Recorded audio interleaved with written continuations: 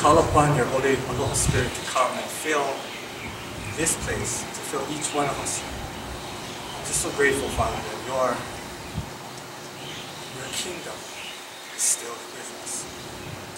The birthrights that you promised us, that remind us of our, our mansions in heaven, that only you can provide. is reserved in our name. And I thank you so much, Father, for promises of the restoration. We ask, Father, teach us. Help us to love one another. Help us to share, Father, the secrets that you have given to each one of us, pieces in a puzzle, Father. So that someday we will be able to do so much more. And that the oppression, Father, the principalities and the darkness in high places, Father, will be lovingly lit from top to bottom.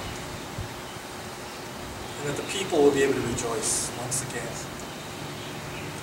because our lead love us. We ask, Father, for your continued aloha to pour abundantly out of this circle into Waianae, out of Waianae, Father, just the earth. Begin with each person here, Father. Change us. Teach us how we can help just the people here, Father. And I thank you that most of the people in this circle have a relative that you have given your birthright to in these islands.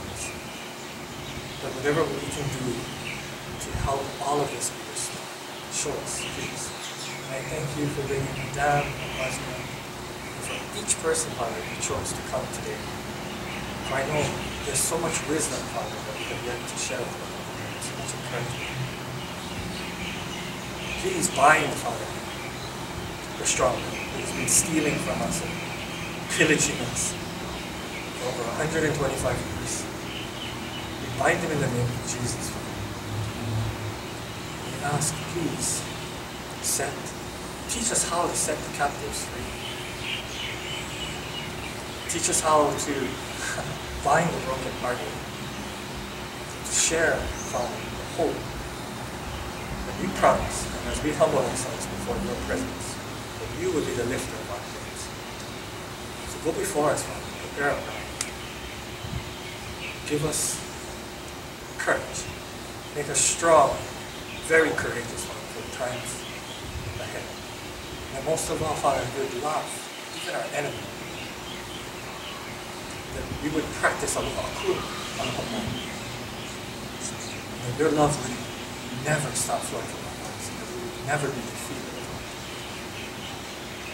For we know that without your love, nothing. So anoint this time, Father. Allow your spirit of freedom to bring healing to each one of us, inside out. Open our eyes to your dreams and your visions of what you desire for each person here to do for your glory, not for ours. I just thank you so much that the people here care about what you have done so long ago, but still so important to. There's these promises of our future, Father, rest in you. So we call upon you, rescue us. Thank you for demonstrating, Father, only you can rescue us. We ask these things in Jesus' name. Amen. Thank you.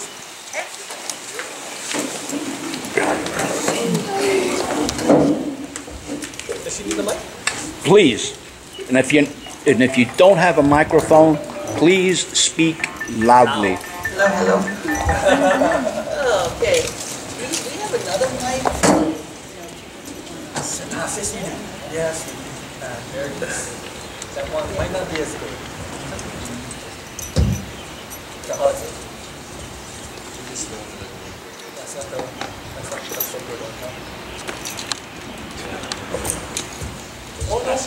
Oh, try. I know if you play with it, fixing it, Yes, yes. Sorry. play with it for Yeah, that's a difficult one. Um, aloha, uh, for those who don't know me, my name is Mahealani Kahanaoi. Um, and I am the head of state for Opui Oko Hawaii Pai'aina. Uh, Been recognized since April 16, 2008 at the legislature of the state of Hawaii. Not that that really matters, but it has mattered on occasions when um, we were in court on occasions when we were arrested on the Iolani Palace, but we had been away. And it was because of that particular, particular letter of recognition. And actually was, uh, we were recognized by Karen Awana, and it was brought into one of the, uh, what you call, the sessions, I think it was the 51st day of legislation the state of Hawaii, April 16, 2008. So this year made 10 years. They never did repeal it at all. And so that was the first time, even to today, that they've ever recognized King, anything kingdom, uh, and they did.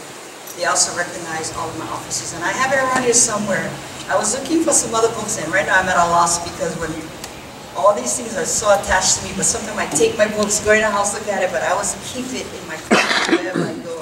We always share them, share the news of the White Kingdom.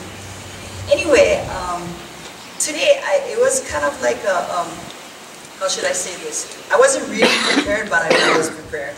Meaning because um, I, I just re- recently found out that three of us were going to sit on the board. Um, Amelia Vara, who I call Amy, and um. And um, I'm sad that they're not here because um, they have a lot of talent in the things that they do. One specializes in genealogy, and the other one um, a lot of the constitutional and U.S. laws, you know, and so they both got a lot to bring to the table. But fortunately, you know, we have Leon here. So tonight, I, I wanted to make it kind of like, um, you know, very ohana. So meaning that we can interact, act, and ask questions, you know, and if you have anything that you want to ask me, go right ahead. So I'm going to swing this from the beginning, and what I'm going to um, go off with, for me, I specialize in kingdom law. And, um, and I've been actually exercising it for many, many years, a lot of years. And um, uh, my small beginnings. 1974, I went to the Iolani Palace and I saw George Helm. I don't know, I'm not sure, I think Leon was there, Walter Ritte, um, Mitchell, was that George Mitchell? Him and Terry, what's Terry's name? Yeah, Terry, and they were all over there, and I was wondering, what are they talking about? What do you, what do you mean we're not U.S. citizens? That's all I knew my whole life. I graduated from uh, Roosevelt High School in 1973, and they never taught anything about the Queen or about the kingdom. So I started to do a lot of self-discovery on my own, and I've pretty much been through um, almost all of the different groups, sitting in their meeting and learning from them. And even if it was new beginnings for them, you know, we all learn from one another. And you know, for me, um, I truly recognize all the different group leaders out there, because we're just pieces to the puzzle. And when we come together, it can be something that can be so very powerful. Yo. But I can tell you this, we, we may be leaders, but we still need everybody to make this to come true. I look forward, because I'm very pro-independent. I'm not into any state, city, federal, and I can tell you the reasons why. But instead of doing that, it's better for me to share some things that's much more positive that we have been delving into for the past couple of years, and it's been going to be very successful. Uh, so, um, if you guys can, um, I'm going to be opening up certain things that we've already been going through. And if you have questions, can you just hold your questions until we finish maybe that topic, and then you can ask me if you have any questions. Okay, so if you raise your hand, I know that you have a question on what I'm talking about. If it's something that's outside that has to do with, you know, maybe Leon or someone else, um, I really would not want to um, make any comments um, because there's other leaders that who are doing many things. And um, just to share with you on what I have without commenting because I may not be in agreement to some of the things, but I will share you with you why I feel the way I do without mentioning any names. If that's okay with you, we can begin. Okay, hi Terry. All right, so anyway, um, actually for the last two months, um, and this is something that's currently happening, um, I've been helping um, a family, which is Charlie's Ohana, Kahele down in Hauula. And if you go towards Hauula where the beach park is, across the street, right past the 7-Eleven, is a church over there. And it's called the Hauula Kahuku Church.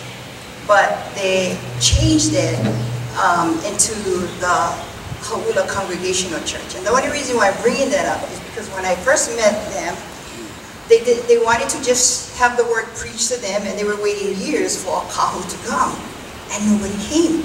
And you know, and they missed the church because their great-grandparents used to, you know, um, be the kahu of the church and they had their own board of directors and everything.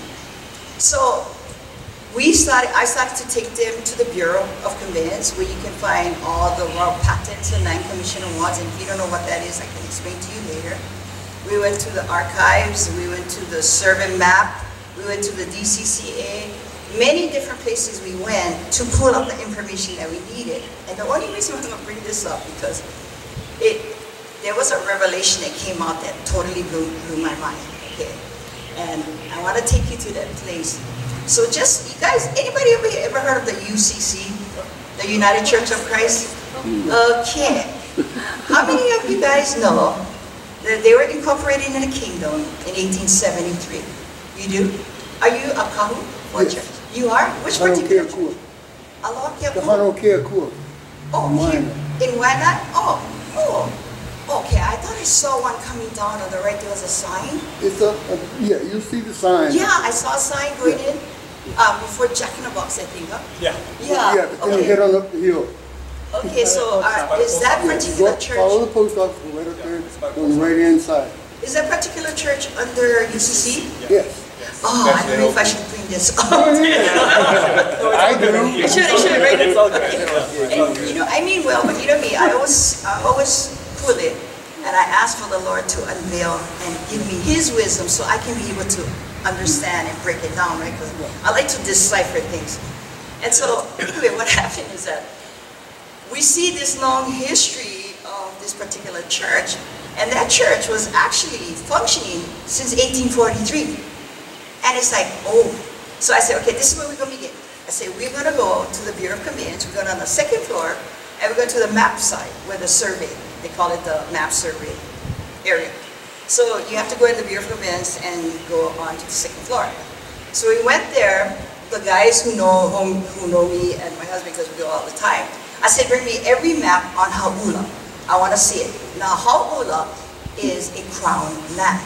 That means that that land, actually before it was called crown, it's called king's land. The, the name crown land came in 1865 in this particular case that had to do with Queen Emma because she said this is her land.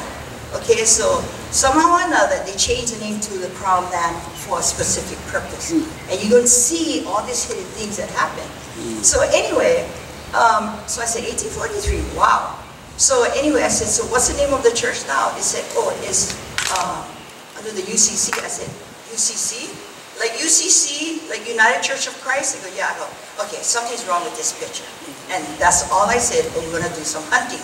So we pull up the Hauula map, and there's LCAs, and if you guys don't know what that is, it is a Land Commission Award, and it is an award that you get during the kingdom time. And the Land Commission Award was the first step you take when you were to make a claim on land, okay? It was legislatively approved and signed by the king, okay? So, I, I'm gonna bring to you guys the fact and the law. In 1848, there's this Mahele, right? Everybody heard of the great Mahele? What many people think is one-third, one-third, one-third. Uh, all it is not. The Mahele has to do with all the 245 chiefs, Konohiki, Ali'i, whatever you may call them, and the king, Kamehameha III, Kauikeaouli. Okay? Nobody else but these two parties. And the whole idea was because of the influx of all the foreigners that wanted to steal the land, he wanted these lands to be recognized under international law because in our constitution we recognize international law. So what he did was he called all the Konohikis to come forward and to go ahead and surrender all their lands back to him. The purpose was that when they did that, that he would walk through the process with them so that they would have their lands in their name forever. Okay? So what they did was they gave it up. When it was validated that they had made the claim, and the Konohikis only claimed Ahupua'as all over and Ili. So Ahupua is the greater um, portion. It's like from the top of the mountain, it goes to the shore, two miles, hit the ocean floor.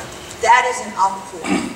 A lot of people think it goes to the shoreline and it stops. No, it doesn't. It goes up two miles. Why? Because there's fishing involved in an ahupua. You know, you got the lo'i, you got, you know, you got all of these things, and many of the farmers today is very aware. It doesn't stop at the shore. It will go out. So most of the Konohikis, pretty much most of the island um, was claimed, but not all of them. And that which was not claimed by them all went to the king, Kamehameha III. Now, when they got the Land Commission Award, it didn't say where the metes and bounds were. So it would be like in the, um, like maybe something like, okay, in the ili of Auwaiolimu, um, on the island of Oahu. Okay. And I'm saying Auwaiolimu because that's what they call Papakolea today. And that's where I was born and raised in 1955, in Papakolea. So I know very well of that particular area. And that's the first area under the Hawaiian homelands that they gave leases, that's the Honolulu area. So it was Auwaiolimu, Ke'ewalo, and Kalapahine. They all attached by the hip. So anyway, um, so what happened is that when it was validated, there were five board of commissioners, which was all appointed by the king, Kamehameha III. And there was laws that was passed, legislative laws that was accepted and signed by the king himself. So what these five would do is it would validate each konohiki. Okay, so once they did that, he said, okay, you don't have the metes and bounds, but this is going to be the ahupua, and if this is the one you claim, it's going to be under your name. If you want the metes and bounds of it, or if you want the true title in writing, you're going to have to pay what they call commutation. Commutation was a one-third unimproved value of the land. And so, because the Konohiki were all warriors, and they fought, they didn't have any money with them. So all the lands that they were sacrificing or surrendering to the king, what would happen is that whatever lands they desired, because they didn't have money to pay the commutation, and money was strictly gold and silver. You couldn't pay with Federal Reserve notes, paper, uh-uh. It, it had to be backed by gold or silver.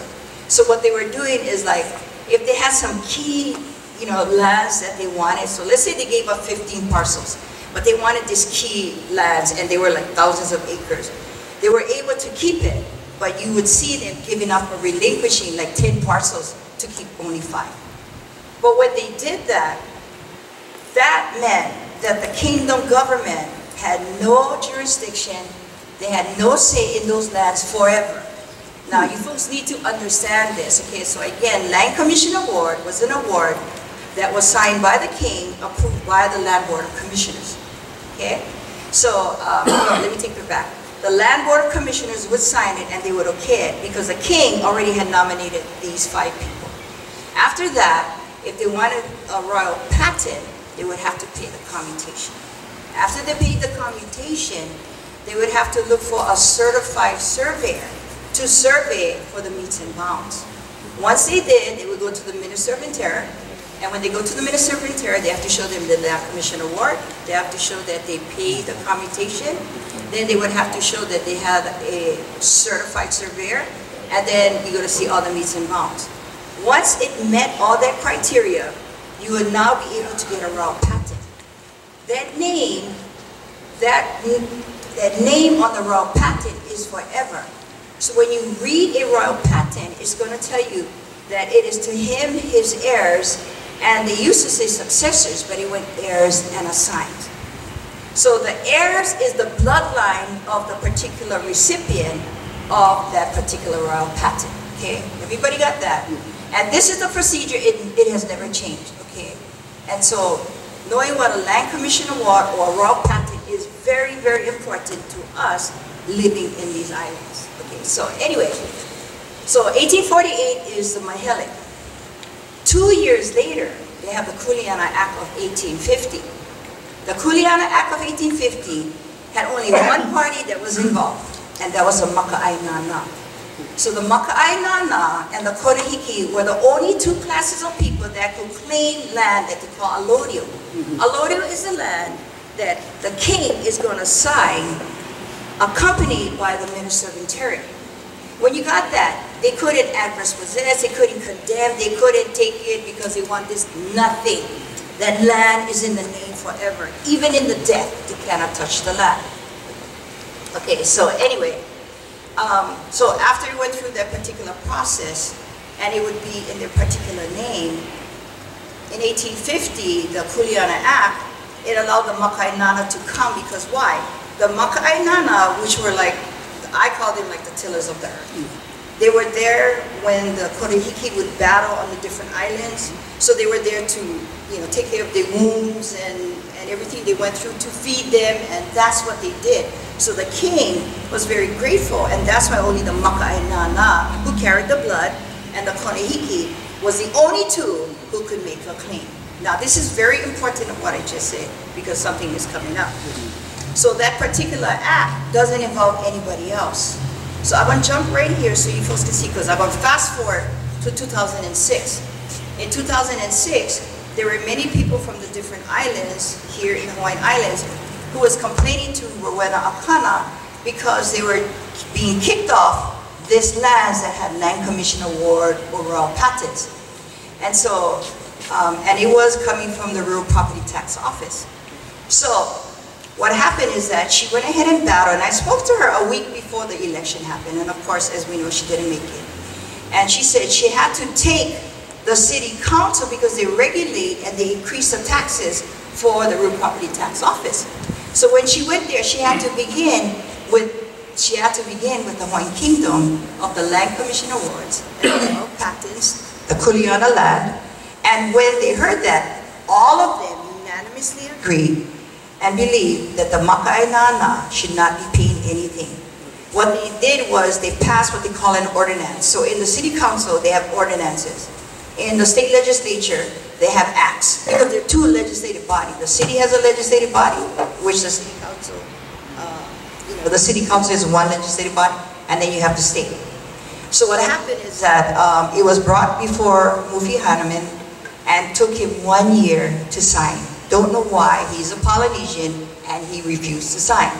One year later, he was getting pressure. He ended up signing. That became an ordinance, okay? That's 2006. What happened is that in talking to um, Kana, and she was sharing with me that the people from the other islands was talking to their city council and they didn't want to do it. So they went back to talk to Rowena Kana and she went to all the rest. And so when she saw some resistance, she ended up with the people on the different islands to have their senators and House of Representatives for the state to go forward to create a bill so that it can go within the state. Because if the state passes it, it blankets the whole city and county. According to her, that's what happened.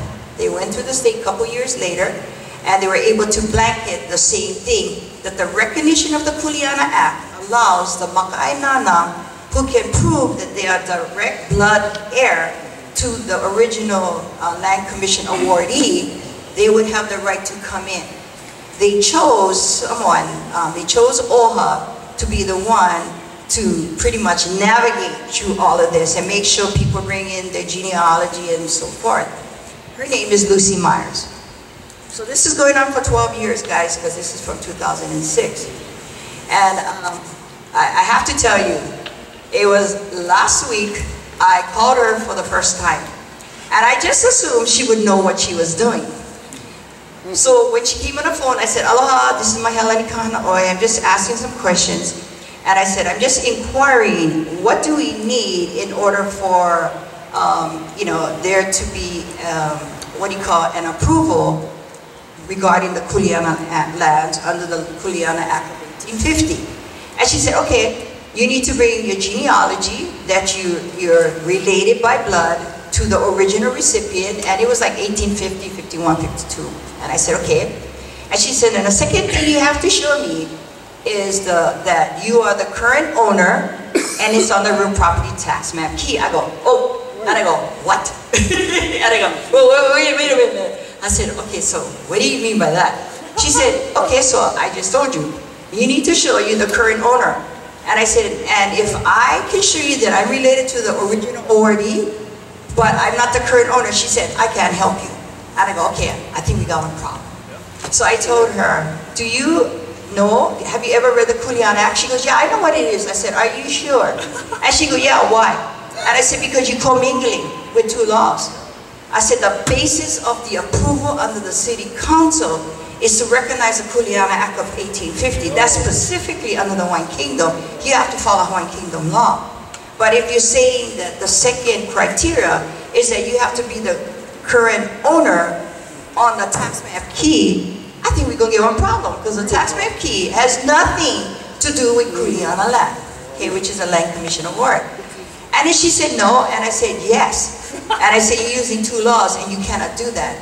Now I'm sharing this with you folks because this is so important because if you get this, you can see the connection of what's really going on because the city and county or the council, when they approved it 12 years ago, it's still good to today. So what does that mean? That means they're recognizing kingdom law. And to recognize the Kuleana Act of 1850 says a lot for people on all the islands. Okay? So anyway, um, it was kind of like going back and forth. And, you know, and, and I, I never met her before, but, you know, I just said, I, you know, I'm just saying that it doesn't make sense that they can bring their genealogy and they can prove. And she go, yeah, it doesn't matter, but, you, you know, you got to you know, she said, you have to prove you're the current owner. I said, are you aware from, you know, 1890s, you know, that they were stealing our lands? They got rid of all the, Kuleana landowners and their heirs, and they kicked them off. And then decided to sell it by auctioning the lands in the 1900s by way of the territory of Hawaii. And she said, yeah, well, doesn't matter. So, you know, it's it kind of like, okay, you're from Oahu, you're Hawaiian, I know, I know the voice. and I said, but this is something that is going to be a big problem, you know. And so, after talking with her and really couldn't get anything changed and this and that, you know, I just said, okay. And so, anyway, after that, I hung up. And then I was thinking, okay, so I'm either going to call one of the trustees, uh, and I spoke to one a couple weeks ago, which is the chairman himself. And that's another story in itself. He's a nice guy, he really is. But the, the, secondly is I'm thinking, I'm gonna call Kamanao. Now I know Kamanao is a good guy. I called him because she's not a trustee, she works under the administration. So I figured I'm gonna call him, so called and he didn't answer. And then later on that afternoon I had a call, but I was already busy. And so anyway, um, the secretary of criminal called me and then she said, Mahealani, and I go, yeah. She said, okay, I called you last week and I think it was kind of late. I said, okay. And then she said, come on, I was in a meeting, gonna be till next week. And then she said, but she believed that she can open up a day for me to meet with him. So she said, you can tell me. And I started to share with her that this is very urgent. Because she also said that she denied people who had the bloodline, but because they're not the current owner on the tax map key, uh, goodbye. You know, and I, and I also told her this. I said, you cannot use a tax map key. And she goes, why not?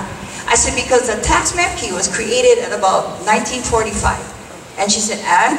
And I said, if you understand this, I told her, I had a letter 25 years ago. And I knew the person who was heading the tax map key. The letter he gave me to say that we do not, you know, um, tell anybody that this is the owners that you see on the tax map keys. And, and he was just validating for me. And I, I'm sharing this with her because I said, I need you to know this. And I said, because it was created in 1945 for one reason. And the reason was for assessment purposes. Because some land is residential, some land is uh, commercial, and you know, and agricultural pastoral. So they have different tax on the particular land. And I said, so, you know, because of that, they say they own the tax map key. So if they own the tax map key, that means they're saying they own all lands, if that's the case, right? Because they own the tax map key. And she said the owners come from the tax map key. And I said, okay, this is not going well. So anyway, I told her you cannot do that. And she said, no. And I said, do you know who Jason is? The one goes, yeah, I know him. And I said, Jason will validate for you because I know you all your, your, papers to once they meet your criteria, it goes to him because he's the head. And he himself says, oh, no, no, no, no, no. We don't tell you just because the name is there it's coming from our office, We can never tell you you are. You gotta go to court, you gotta prove it, or you bring a certified um, title search. And I know because I did that in 1994, I think it was, and, and it cost me 3,500 for this title search. I took it to them, and they were able to see, okay, Parker Ranch, you need to get off. This is her land. And I pretty much fought the Parker, Parker Ranch, and I, and I won against them. Yeah, and you know, I mean, you know, they're just big name. So, you know, I'm maka'ainana, like I really care, right, about, you know, the corporate side. So anyway, I could sense that she was coming from a place of, oh, you, you know what I mean, kind of like questioning, right? So anyway, um, after I hung up, I talked. So now there's a meeting that I'm going to um, this week to meet with um, Kamanao because she knew when I was talking to her, this is urgent. I said, if people find out of what you folks are doing, it's not going to be a pretty picture. Because if the names that you're taking today from the tax map key, you're going to see majority of them is Asians, and, and I'm not against no Asians, okay? I got grandchildren who's, you know, I mean, you know, mixed plate, okay? But that's not the point. It's the law that you got to follow, and when you recognize the Kuleana Act of 1850, you give recognition to the Hawaiian Kingdom whether you like it or not. And it is, and you cannot commingle, take two laws and try to mash it together. So the people who came and had the right to connect to that uh, particular original recipient is all that needed to be. Okay, they didn't need to show that they're the owners because their lands have been stolen or their grandparents or great-grandparents' land have been stolen. So anyway, so I did talk to, um, what do you call, uh, the, the secretary, she did let know, and so we're going to be meeting today, I mean, this week coming, uh, no, not this week, I'm sorry, wait, not this week, next week, next week, which is, what is it, It's Saturday? Yeah, so this week coming. And, you know, I'm the type of person that, when I read the kingdom laws, if I can see that kingdom law in action in the things that I've seen in the kingdom days, and it's being brought up today, I will use that, whether it's in court or against anybody, and I will stand on those things no matter what. So I needed to share that with you because a lot of people say, if this is Crown lands, how come you get LCA, Land Commission Awards, all over the place? And I said, that's because only the Maka'ainana, by kingdom law, allow them to make claims on Crown lands. Konohiki could not.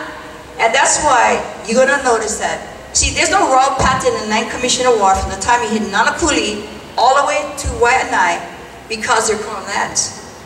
Oni Makaha is not. Makaha is private land because it has a royal patent and it has a um, land commission award and it's on the Abner Paki. In fact, oh, he's not here. He did he leave? Okay. Anyway, uh, so one of my securities, uh, his name is Andy, and he just left. And I think it's 2243, that is a royal patent for that particular land. But like I said, only Makaha. Everything else over here is all crown lands. There's a lot of LCA all over in here because they had a right to claim on crown land. Okay, now, yes, okay, what? 10 to 16.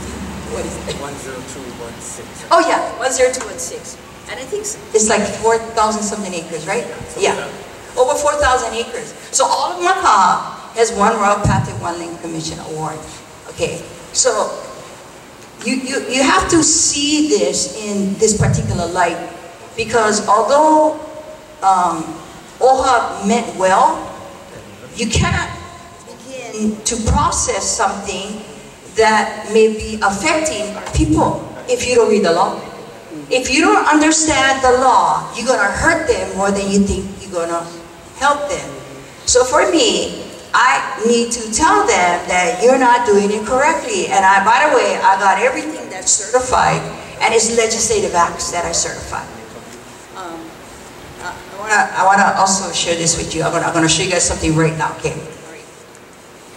This is a map, and this map, actually it's a brochure. I, ha I have the map, but I don't know who I loaned it to. Yeah, okay. Thank you so much. Yeah, okay. So, anybody ever saw this?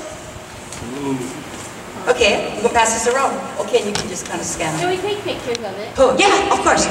Okay, this, before, before it goes around, this particular map is the entire downtown Chinatown, all of it. Okay. It goes from the municipal building all the way to A'ala Park. There is LCA Peace grants, all Hawaiian, in here. Okay, and then you're gonna see numbers, you're gonna see the Iolani Palace, you're gonna see all these numbers, because this is a Land Commission Award 247 William Charles Lunalilo on the Iolani Palace grounds. You're gonna find royal patents all over the place. Where you see the court, every single courtroom sits on royal patent land. Every courtroom in every island, I kid you not, we have it all, okay? Now, to turn to the other side. All that numbers that's on all over the land, every single person is on there. And you're gonna find majority of them is all the konohikis that you're gonna see over here. So I actually had one with Waikiki because the whole Waikiki has LCA RP's grants. And we got all that names too. And you know, sometimes when you let somebody, you forget who it is and they're not gonna return it. So, because I gotta remember who it is. So I now keep all my stuff, but I'm open to share with you folks. And you guys wanna see this? Okay, so we're just gonna go ahead and maybe we can just hold it and just walk slowly in and turn the front and the back and everybody can see. And then later on, you guys can come up and check out the map, okay? And you can take pictures if you want. And it goes back into the 1800s, okay? So like I said, you're gonna find everywhere. In fact, um, okay, you know where um, the post office is, down, downtown on Richard Street? If you're in the palace and you're facing Makai, you, you see the, um, the post office, and then there's the commitment statue on the left, right? Right behind is Queen Street, right guys? Do you know that that's where the boats used to be right there? That was a pier. Had all the ships right there.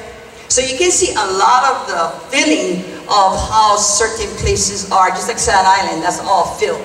That land was never there. Okay, all landfill. But right behind, right on King, right on Queen Street, is where all the piers, all the boats used to park. That's how close it was. Okay? So it's important that we know our history, our genealogy, not of also of one another, but also for the land. Because the land is what ties to you, which ties to the law. If you know who you are, then I'm going to guarantee you all these things, aloha, all these things is going to be tied back to you. Okay? I know, it's very interesting, that thing. And you know, um, I can tell you that this brochure, you can only find it, you can go to the archives, but they don't have no certified copy. That was given to me um, quite a while. You can get them at the Mission House behind, um, what is that church? Kawaiahao. Right behind Kawaiahao. They sell this particular maps over there. I don't know if it's there, because every time when you go, it's like so out. But if you tell them which particular map, this is the brochure that, you know, that they will give to you. You can just purchase it. And it looks so much nicer because the other map is, you know, huger than that. Okay? So, and the reason why I bring up about the land, because it doesn't matter what's on the land. It, it matters what is the backing of the land. What laws does it follow? Okay? And who you are that will connect the land to you and what law is being used, it needs all those three. You, the land, the law. And that's all you need, okay? Um, it's been like over 10, 12 years that we've been going into court. And my husband, he doesn't have enough fingers and toes. He won every case. And the reason why he won every case in the court is because when we go into court, his paperwork that he puts out, he brings in all certified copies of the Royal Patents and the Land Commission Award from the um, Bureau of Conveyances, and then we submit it as evidence. And then what we do is we, we, we use this, this verbiage, okay? And this verbiage is that we are invoking FRE 902. FRE 902 is Federal Rules of Evidence 902.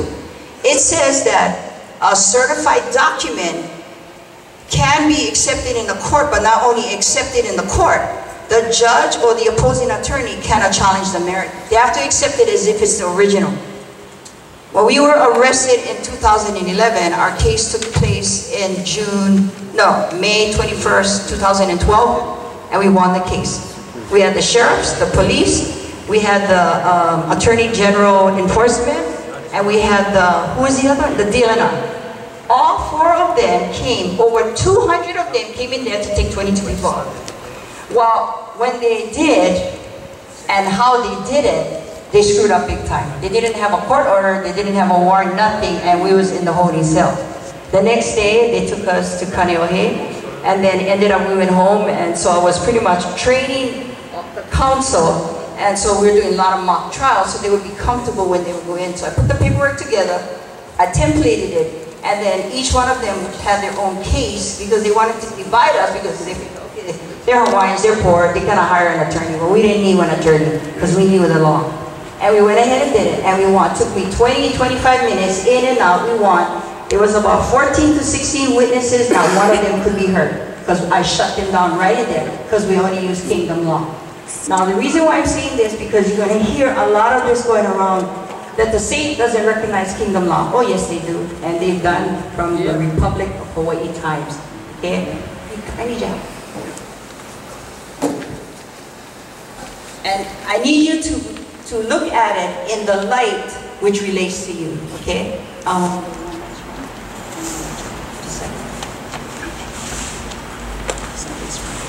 Oh.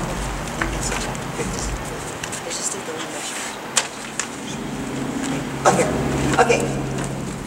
And sometimes, you know, we get very excited when we hear different people speak.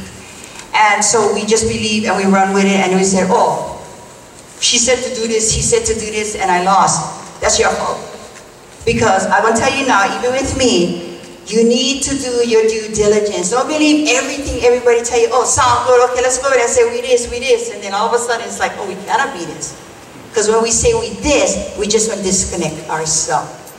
So never ever believe or trust, just like how the good, good word says in the Bible, you need to go ahead and do your own due diligence. Only then you're going to feel pono and you're going to take responsibility. It's like, okay, I did this, it's my fault.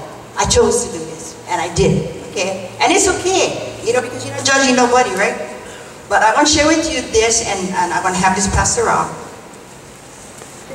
When the Republic took over, when the, um, it was first the provisional government, then it was the Republic of Hawaii, the territory, and the state, and all of them.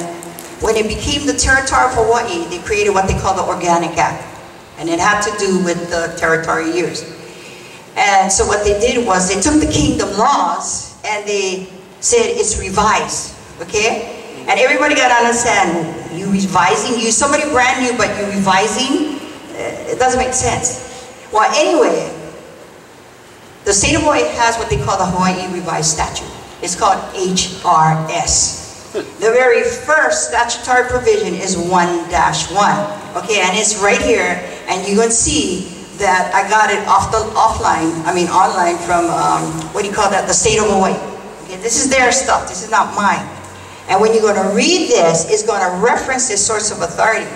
Well, the source of authority says L1892, comma, C57, comma, S5. I'm going to decipher that for you. L1892 means accession laws of the Hawaiian Kingdom of 1892. C57 is chapter 57, S5 is section 5. This is what they're quoting. This is the accession laws of the Hawaiian Kingdom of 1892. The state of Hawaii uses this as their laws. Are we listening? Yeah. Guys, if you don't know that they are using kingdom law because we're so used to, we're getting angry. We cannot get angry. We gotta step out of the, you know, the, the bucket. It's our own people pulling us out. No, no, no, we ain't safe. Stay here. But sometimes you have to explore, right? So you gotta step out of the bucket. There's nothing wrong with that. You like jump back and go. but so over here, they're telling you that it is the first statutory provision. So they're telling you this is their foundation, 1-1. But when they quote the source of authority, it's from here. Everything that they said, the, um, the citation, meaning they're referencing, is in kingdom law. And you can see this is from the archives. Okay? So why is that so important? Well, that's because that if your whole basis of your foundation is based on kingdom law, That means that everything you do, everything you do, whether it's criminally, whether you're trespassing, gonna have to come from where? Gonna have to come from kingdom law. It's not gonna go from any place. Did you know that every time when an attorney goes in to file something criminal, you know he uses the Hawaiian kingdom?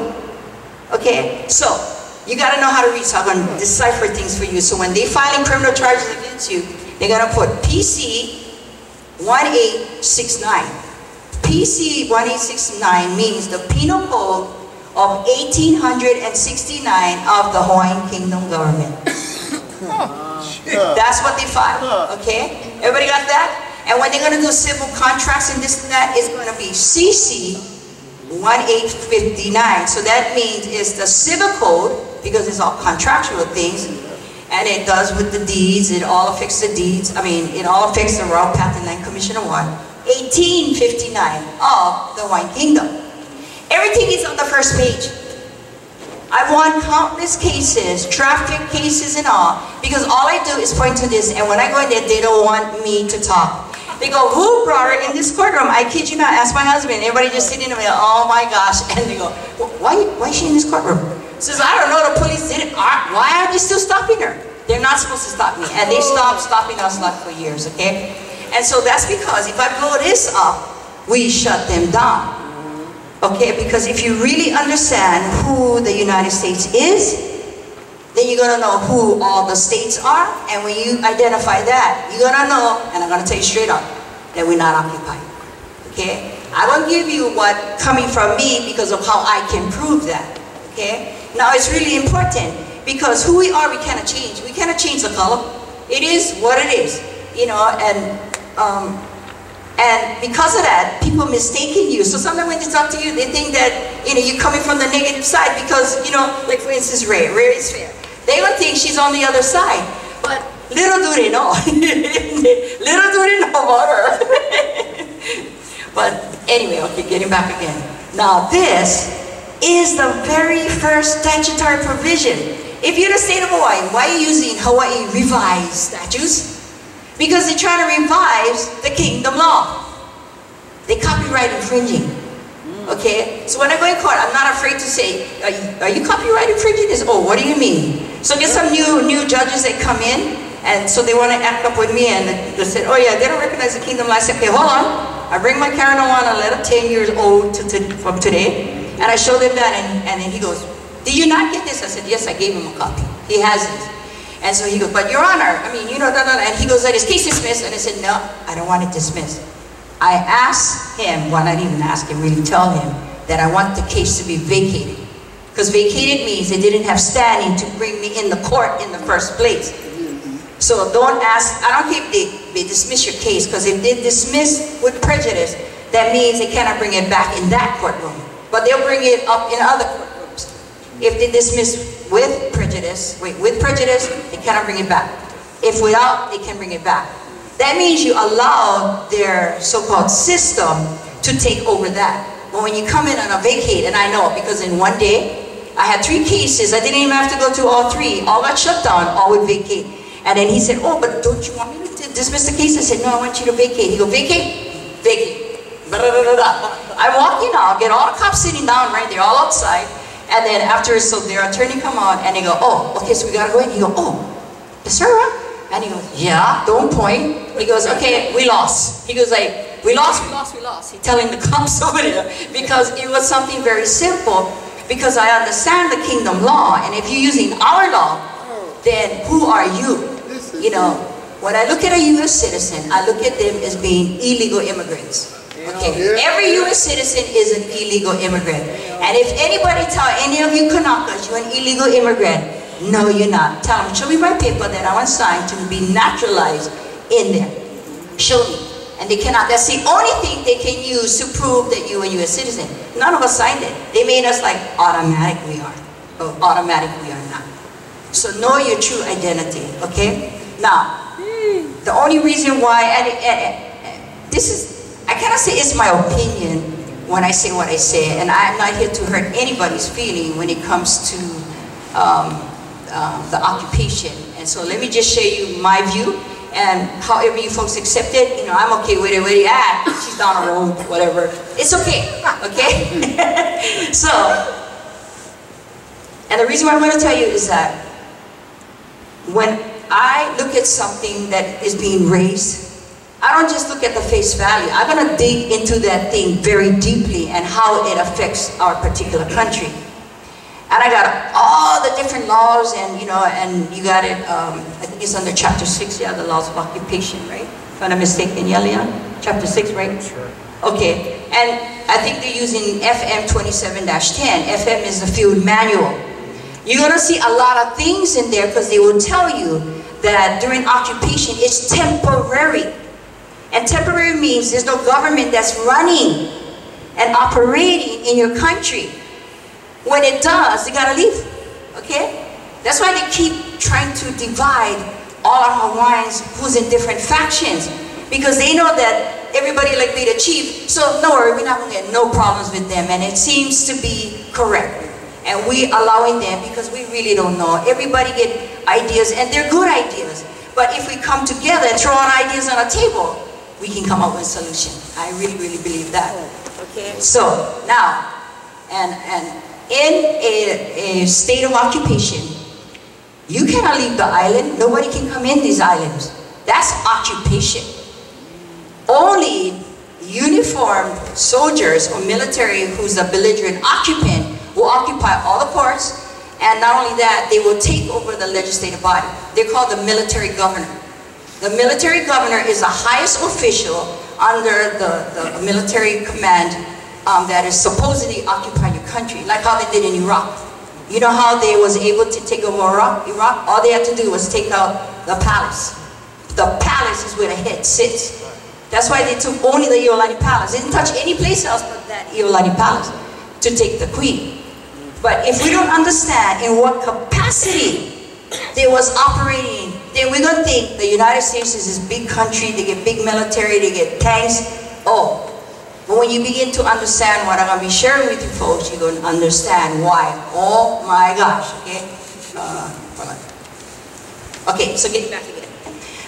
So there's many things, I mean, and there's curfew, occupation, 6 o'clock, everybody home. Lights off, camera off, action, nothing, black everywhere. My mom was living during the 1841, I mean 1941 war and everything, and everybody would have to be like that during the 1941 time, okay? If it was still the same today, we would not be able to sit here at this time. We would have to be home in our house, and everybody had to paint the windows black. And every place you go in the banks, there's armed guards. We don't have that here. We're free to go wherever we like go, however long we like take, and come back when we feel like coming back. Okay, and, and it's important for us to have the understanding. Okay, so what am I trying to get? Okay, hold on. So I don't know if I shared this, I think I did. You got my, the, um, the trading, yeah, that. Is it here? No, I think I brought it. Hold on. There's some stuff over here, check this out, hold on. Oh, yeah. Okay.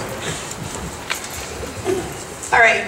um, and I'm not trying to knock anybody down, but many people want to help us, and it's us who have to find ourselves. It's a self-discovery. Just because people talk and you know they may sound good and everything, and you get you inside and you all in and you're going in and then you fall. You gotta take responsibility. I should have checked this. What does this mean? When was it created? Who's involved? Who had the authority? And this and that and so forth. Our people, because there's so many people out there that really want to help anything they find right on the surface, boom, here it is. But unless you go deep and you go underneath, only then you can find the truth. Okay? So like the Royal Patents and Land Commission Award, if you guys want to write this down, just leave it in your head. Okay, it's HRS, which is Hawaii Revised Statutes. That's what the state is under. They're all bound under that. Every judge, every attorney, mayor, governor, judicial, legislative, and all of them. One HRS 172-11. You know what it says in there? HRS. It says that 172-11 is an HRS. Mm-hmm. That is referencing to kingdom law again. So remember how I told you how L 81892 was the session laws of the Hawaiian Kingdom of 1892? This one is L 1872. So what does that mean? The session laws of the Hawaiian Kingdom of 1872. They're using that to reflect on Hawaii Revised Statute in there. And guess what that statute is about? That they recognize all the Land Commission Award and the Royal Patents, and they said that even if, if the original awardee had deceased or he had alienated his real estate, alienated meaning they, he sold his real estate. They didn't say land, they said real estate. He goes, the name of that person is still on the map and on the records till today. That is the state who's saying that. Okay, you, you hear what I'm saying? So when people said, no, they don't recognize kingdom law, oh yes they do. There's hundreds and hundreds of places taken verbatimly out of the kingdom law that you can find. So because I'm familiar now with everything, but, you know, a lot. Okay, so I'm going to read you another one. This is HRS chapter 12, 7-1. And I'm going to read you this, and the reason why I'm going to read you this when I get my glasses, hold on. I know, I wear glasses too. On your head. On your head? On your head? On your head? No, not this one, not my sunglasses. Reading glasses.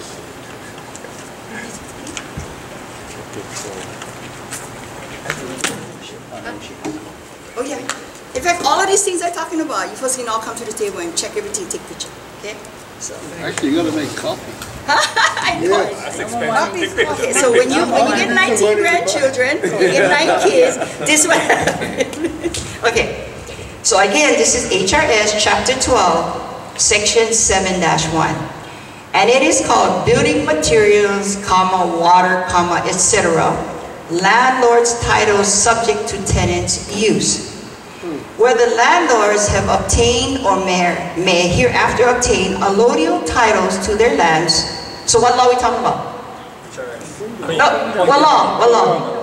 They're talking kingdom law because the word allodial. They don't use allodial in the state, city, and federal. Uh-uh. Because if they do, they know they don't have no power on this, okay? So it says allodial titles to their lands. The people, okay, and that's the Maka'ainana who get all these LCA. They're talking about these people. The people on each of their lands shall not be deprived of the right to take firewood, house timber, aho cord, thatch, or ki leaf from the land on which they live for their own private use, but they shall not have a right to take such articles to sell for profit. And I'm sorry, even the flowers they take to sell, they cannot even do that. That's kingdom law, okay? It says the people, watch this, especially you farmers, the people shall also have a right to drinking water and running water and the right of way. You know what the right of way means? You can go wherever you like on the roads. You're, you're not obligated to be licensed and all these things, because that's not kingdom law, why they're stopping you today. The springs of water, running water, and roads, roads shall be free to all. On all lands granted in fee simple, provided that this shall not be applicable to wells and watercourses which individuals have made for their own use. I'm not sure if you guys get wells over here, but in Hauula and Laie, they have a lot of the uh, wells that's underneath, plenty of them underneath there, okay? So, and wait, I'm gonna, I'm gonna quote you, you can find it. So it's CC 1859. What is CC 1859? Anybody remember? Civil Code of 1859 of what? What government? Hawaiian Kingdom. This is in the HRS, guys.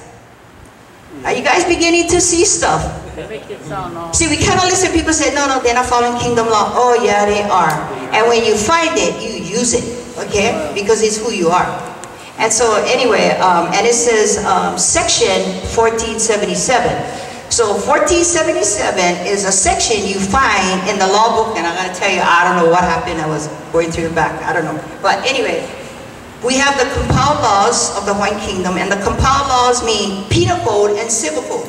So PC and CC. And it's compiled, and there's some amendments to it and, and so forth. But that is where they're quoting in the 1-1, I told you earlier, and now in the 172-11, the CC 1859, section 1477, he can find it in that Kingdom Law book. Okay? Now, I don't have it with me over here, but there is a law in the state of Hawaii that says that any cases that have been adjudicated during the kingdom area, um, era, that they cannot interfere with. Okay? Everybody heard what I just said? Okay, so let me give you something else that I'm going to validate that from. Let's go back to 1-1. I'm going to read this to you as you're going to hear what I'm going to tell you, how they write it. And it says, it's the common law of the state, like the state of Hawaii, exceptions. It says the common law of England, oh, excuse me, the common law of England as ascertained by English and American decisions is declared to be the common law of the state of Hawaii in all cases except as otherwise expressly provided by the Constitution or laws of the United States or by the laws of the state. Or, we're going on or, fixed by Hawaiian judicial precedent. Anybody can tell me what I just said. If you get, if we approved it before, it's still good. So what it, he, he's close. So what it means by or fixed by Hawaiian judicial precedent, they say saying any cases that was adjudicated during the kingdom area, because they say Hawaiian, it can still be held in the courts today. See, we don't even know that. And if you guys also look at all our kingdom cases, and you, you go Supreme Court, the one um, behind King Kamehameha statue, that's the Supreme Court. You can pull hundreds and hundreds of cases, thousands, and they have all the volumes. And all those cases, and what is telling you that if you're not following this law of the state of Hawaii or this constitution, it says or Hawaiian judicial precedent. So when you go into court and you want to quote a case, 1857, let's say, oh no, let's go to 1851. This particular um, case in 1851 is um, P. Coy versus Capena. And Picoy was suing Capena because he said he didn't have the title. In the kingdom, if you want to sue anybody about land, you being the plaintiff, you the moving party going in, you cannot come in the court, sue anybody unless you hold the Land Commission Award, the LCA, or the RP. If not, they're not even letting you come in the court in the kingdom. So it's the same today. So let's say Kapua, she know she get Royal the Land Commission Award, and she's going to go in a court, and she's going to go against the state of Hawaii, okay? She has to prove that she has what? A Royal Patent or a Land Commission Award, okay? Because not everybody who had a Land Commission Award went ahead and got the Royal Patent for two reasons. Number one, they died, and number two, they couldn't afford to pay a certified surveyor okay? And they didn't have the money to pay the commutation, but the land commission award was sufficient to prove you have the right to the land, okay? So who would win? She would win. Why? Because she will quote the very law that they're quoting in the kingdom. And because she is who she is in her identity, she will win. I can say that because these are things that we've done. I'm not gonna tell you, but try this on precise. See, see how this can work for you. You gotta, you gotta, um, I don't like you to use the word gotta, but if you want to do it, I can say we've done it before. It doesn't work for everyone, and I'm gonna tell you why. And it's not because um, they're doing it wrong. Absolutely not. It's because whoever the judge is, whoever the attorneys are, let me tell you, they all cahoots together, conspiring for certain individuals who they cannot allow to win the case. Even if she has everything going for her, or he has everything going for her, they cannot lose that particular fight. So when they saw me at the beginning, anything, anything, today they don't want me in the courtroom, I mean very nicely. I get a few judges like that, and I get other judges, when the case is over, they're gonna tell the sheriff, oh, bring, bring her Royal Majesty in the back, because that's how they recognize me. So when everybody walks out, the sheriff, he comes to me, he goes, okay, uh, judge wants to see you. I go, for what? And then he goes, he wants to see you. I said, okay. And this is the sheriff. So I go in the back, he disrobes, he said, how are you, Her Royal Majesty Mahela? I said, how are you Judge Tarigao? And I'm in the back. Because they already know. Because when I go in there, my, my attitude got to be one of aloha. You got to go in with aloha. No matter what you feeling, you got to go in with that because they will respect you. And if you don't have the respect, you're not going to win. you gotta have the respect and you gotta show them that you know who I am, you know what I'm, I'm showing you, but it's up to you how you gonna do this. And you know, and because of that, we won a lot of cases way back in the, um, the, the 80s, 90s, going on to the 2000s. And so you're gonna get different um, judges with different stripes. And so to protect from the whole structure, because they're all puppets, they're gonna have to knock down certain people. You know, and when they're going to fight for their life, that really, okay, I'm sorry, but I said this pisses me off. Because they're fighting for what they know and for what they believe. But I tell you this, it takes you individually to make up your mind if you know or if you want to be what you know you should be. Because only then you can talk talk about all the lands and this and that, or they're taking my land away. Nobody can take the land, put them in the pocket and run away. It ain't gonna go no place, it's still here.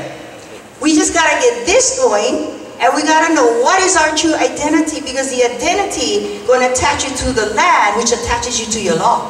And in here, every place, the Supreme Court recognizes. You guys remember years ago when uh, the Supreme Court says that, oh, because um, the, um, the state legislature wanted to sell the lands in Maui.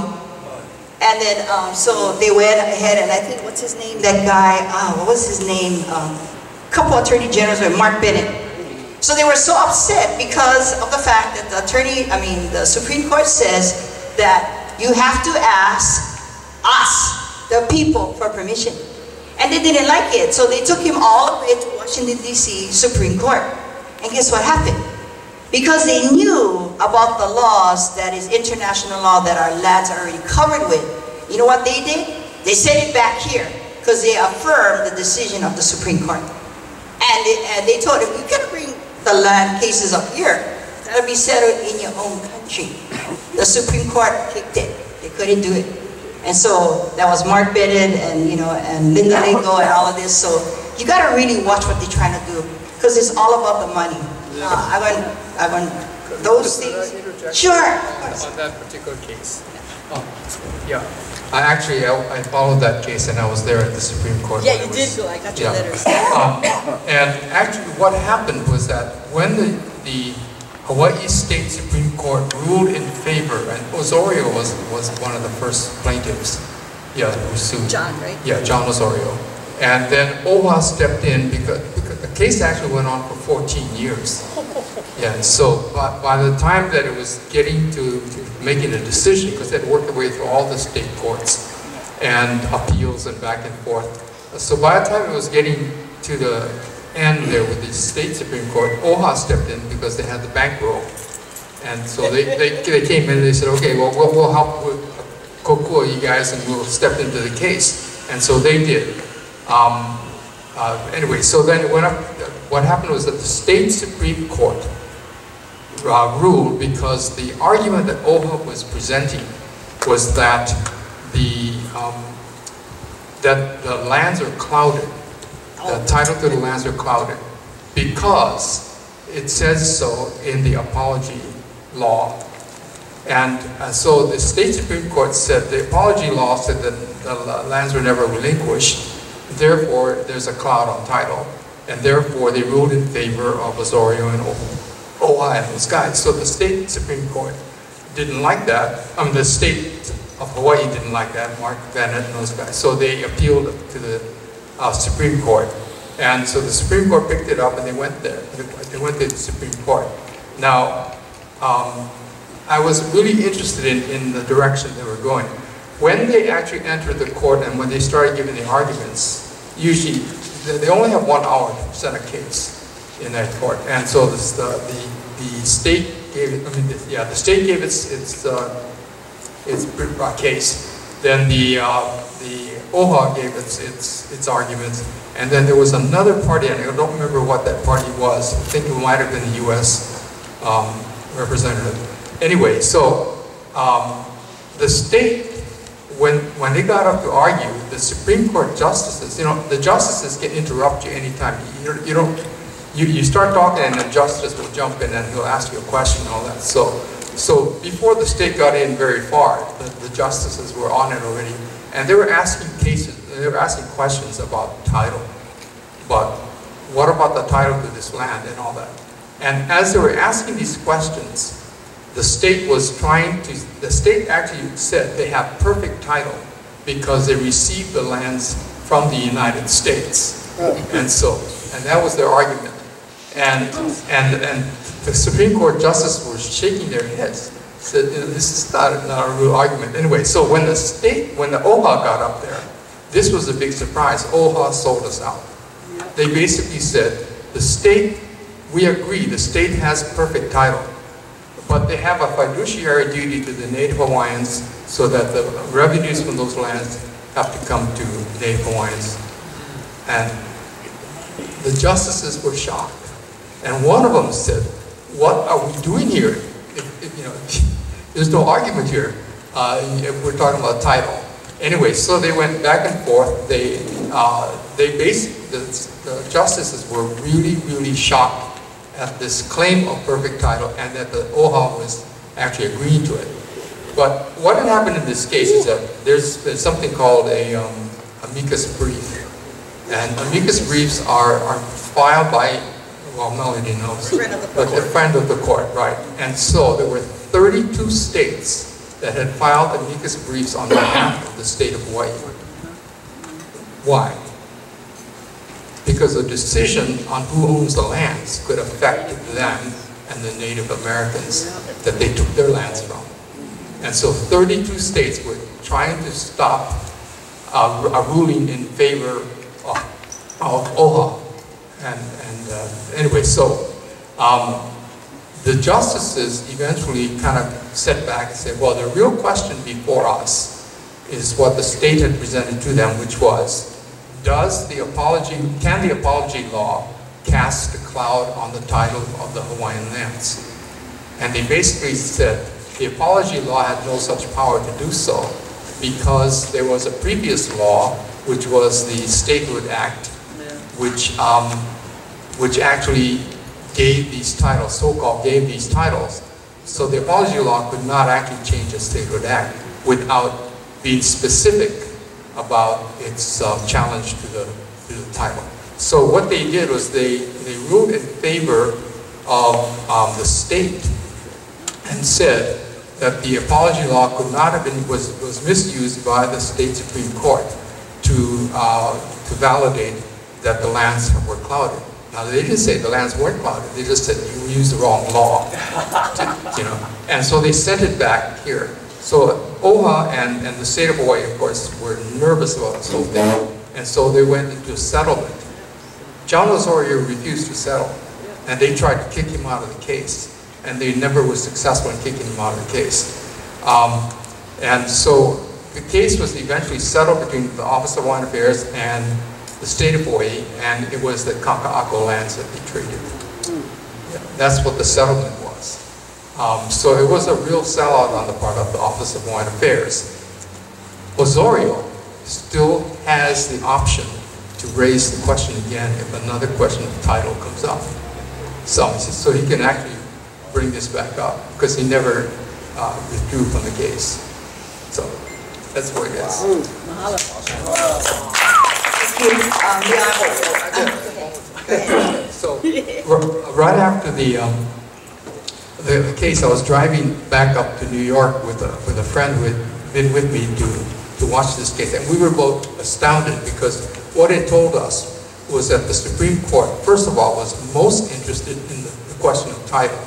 And they were not at all convinced the state had title.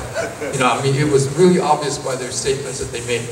Um, and so we thought, would, it'll be great if we could get Osorio or somebody else to reopen the case and, and really press this.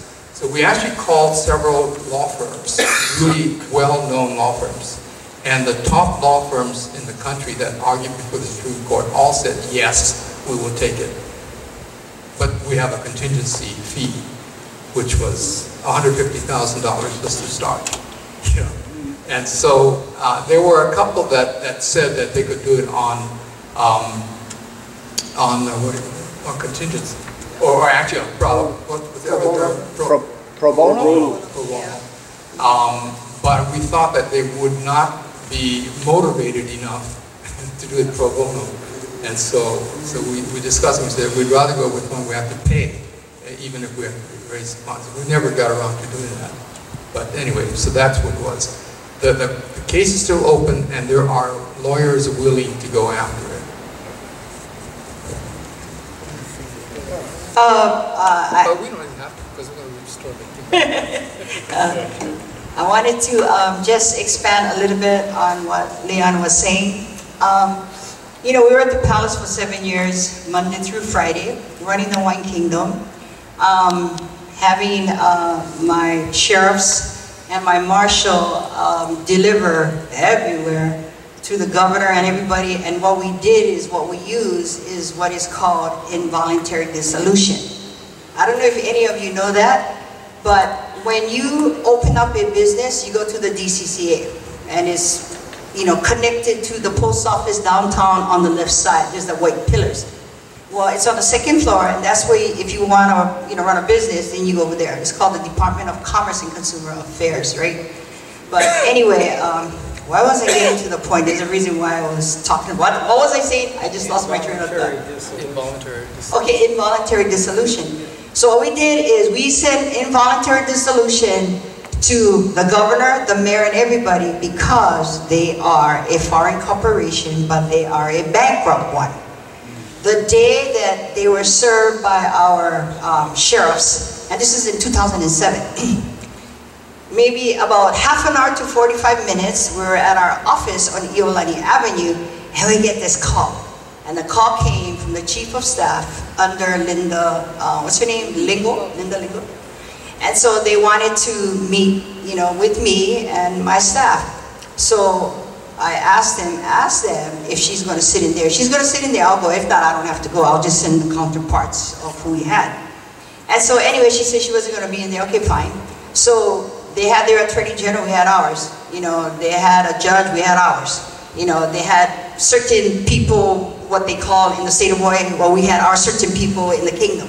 And they sat almost 45 minutes and they said, okay, so haven't we been helping the white people? We've created this, we've created that. Because the involuntary dissolution is a right for a government, and this is governments across the world who has a right to shut down a corporation if you didn't pay your taxes, you didn't file your annual reports, you didn't, you know, um, um, what do you call it? You didn't list all your officers and all these different things you were supposed to do.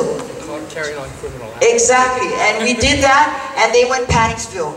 I mean, we had the title companies calling us. We had the real property taxes office because we was ready to shut down the real estate board and the title companies who's making all this humbug for our people. Because it doesn't just take the bank to do this. It takes the insurance company, the title company, you know, the real estate, and you know, and the judges to work in cahoots together. So we sent it all out, and they were all calls was going all over the place. And so they was trying to work with us. And so we knew that they were a corporation, and many people didn't know at that time. So it was the way we introduced them because we use the kingdom laws of how you dissolve a corporation under the kingdom law. And so anyway, and there was uh, a lot of connection, and I think that's why our um, our license plate and our IDs, we could use that at the bank. I could go islands, all of us, with just our ID. We could drive with our license plate and whatever, and if we go to court, we win the cases. You know, because you get a lot of rookies and they don't know, and that's not their fault. But there was a lot of things that was happening because I was taking it from another angle. Not just go over there and says, oh, you know, I want to evict you because you're on the land. If you take like the involuntary dissolution, you're telling them, I know you're a corporation, you're a foreign corporation, plus you're bankrupt, I'm dissolving you because we are the kingdom. And pretty much everything just started sparking up after that. Hey, how you shine? so anyway, um, and pretty much uh, a lot of different things had happened. Okay, so over time, um, what happened is that we, um, oh, and I wanted to show you this. You know that one that guys was talking to you about? This one? Okay. So I like to always back up what they have to prove you following our laws. You're not following your own because it's not yours. You're just copying ours. So into the archives, and you remember the HRS 172-11 that I talked about earlier? Okay, so this is from the Hawaiian, uh, from the archives, and this will tell you it's 1872. It's funny how they call it 172-11, right? But this is the 1872 from the archives that back up that HRS 172-11. So we don't just take at face value. We need to attach it to the law that can stand up and hold you up when you go into court. Okay, so that's that one. Um, let me see, there was one okay, this one. So again, it reference to um, chapter 57, remember, I was telling you guys on the 1-1, 8L1892C, chapter 57. So again, we went to archives and we have it certified, the original chapter 57 out of the legislative book of the Hawaiian Kingdom, it's here. So the stuff that they write to support them is actually our stuff. And this is how you back it up, you bring certified. If you don't bring certified, they don't care. Like you guys remember a couple years ago they had like maybe about two or three hundred people and they were trying to fight for pool. You guys remember that? Had a whole bunch of all these Hawaiians coming in. And actually, you know what they were fighting for? A one and a half acre. And about 200 people, but they were really related. So, you know, if going to ask me for help, I will, I will tell them, I said, okay, the most important thing is that whatever you find, make sure that if you're going to get them from certain state agencies, you have to certify it. Because when you submit it into court, they got to take it. Do you know that that's what they didn't do? And the opposing side said, oh, we're going to invoke this and this because we got certified documents, not them. And they lost. It was in the court. Every time we went in there, they lost because they couldn't back up the stuff they had. So something simple, go get it certified. That was all they needed to do and they would have won. So these are some of the things that I want to share with you guys so that you guys know. So what you do is you find the document, like if you go to the Bureau of Conveyance or the archives, and when you find it, you tell them, I want this certified. Before they could do it one day, now they take two weeks. I don't know why. But we got something we're waiting two weeks for right now anyway. But that's all you do. You go to the counter in the archives, which is located on the Iolani Palace grounds. You pull it, and uh, well, actually you have to write it down, look for what books it is, and they'll pull it up for you. You say this, can I have this certified? Okay, you fill it out, and then um, they're gonna call you when it's ready, and then you come and you pick it up, and it'll be written like this. This is the kind of paper that all the courts recognize. They recognize this paper. Yes, Charlie? They plan to digitize everything. Huh? They plan to digitize everything. Yeah, and, and, you know, and they're doing that purposefully because they're trying to do it on a computer. But neither here nor there, you can still get it certified that way without them going through the computer because you want that acknowledgement that it came from that agency, okay? So anyway, you know, it's not enough that you just find something like on the surface. Uh, one more important thing I wanted to show you, and it's HRS 601. Wait, wait, 601-1. So why is that important? Okay, I'll read to you why it's important. it says, judiciary, period. There shall be a branch of government styled the judiciary. Okay, now mind you, I, I'm reading on HRS 601-1, judiciary. Here is their reference, their source of authority. L1892, sound familiar? Comma, C57, which is chapter 57, this time is section 1. So we went back again to that, um, yeah, chapter 50, where is my chapter? Where did it put it? No, not that one. Wait guys, hold on, it's around here somewhere. I got so much goodies, I want to just share everything with you guys. I'm gonna share everything. like okay, it's around here somewhere. Wait, wait, wait, wait. But anyway, and the the one I told you guys about the one dash one, it was on in um, section five. The judiciary is in section one of the same place. In that, I gotta find out because I need to show you guys. Okay, wait, wait.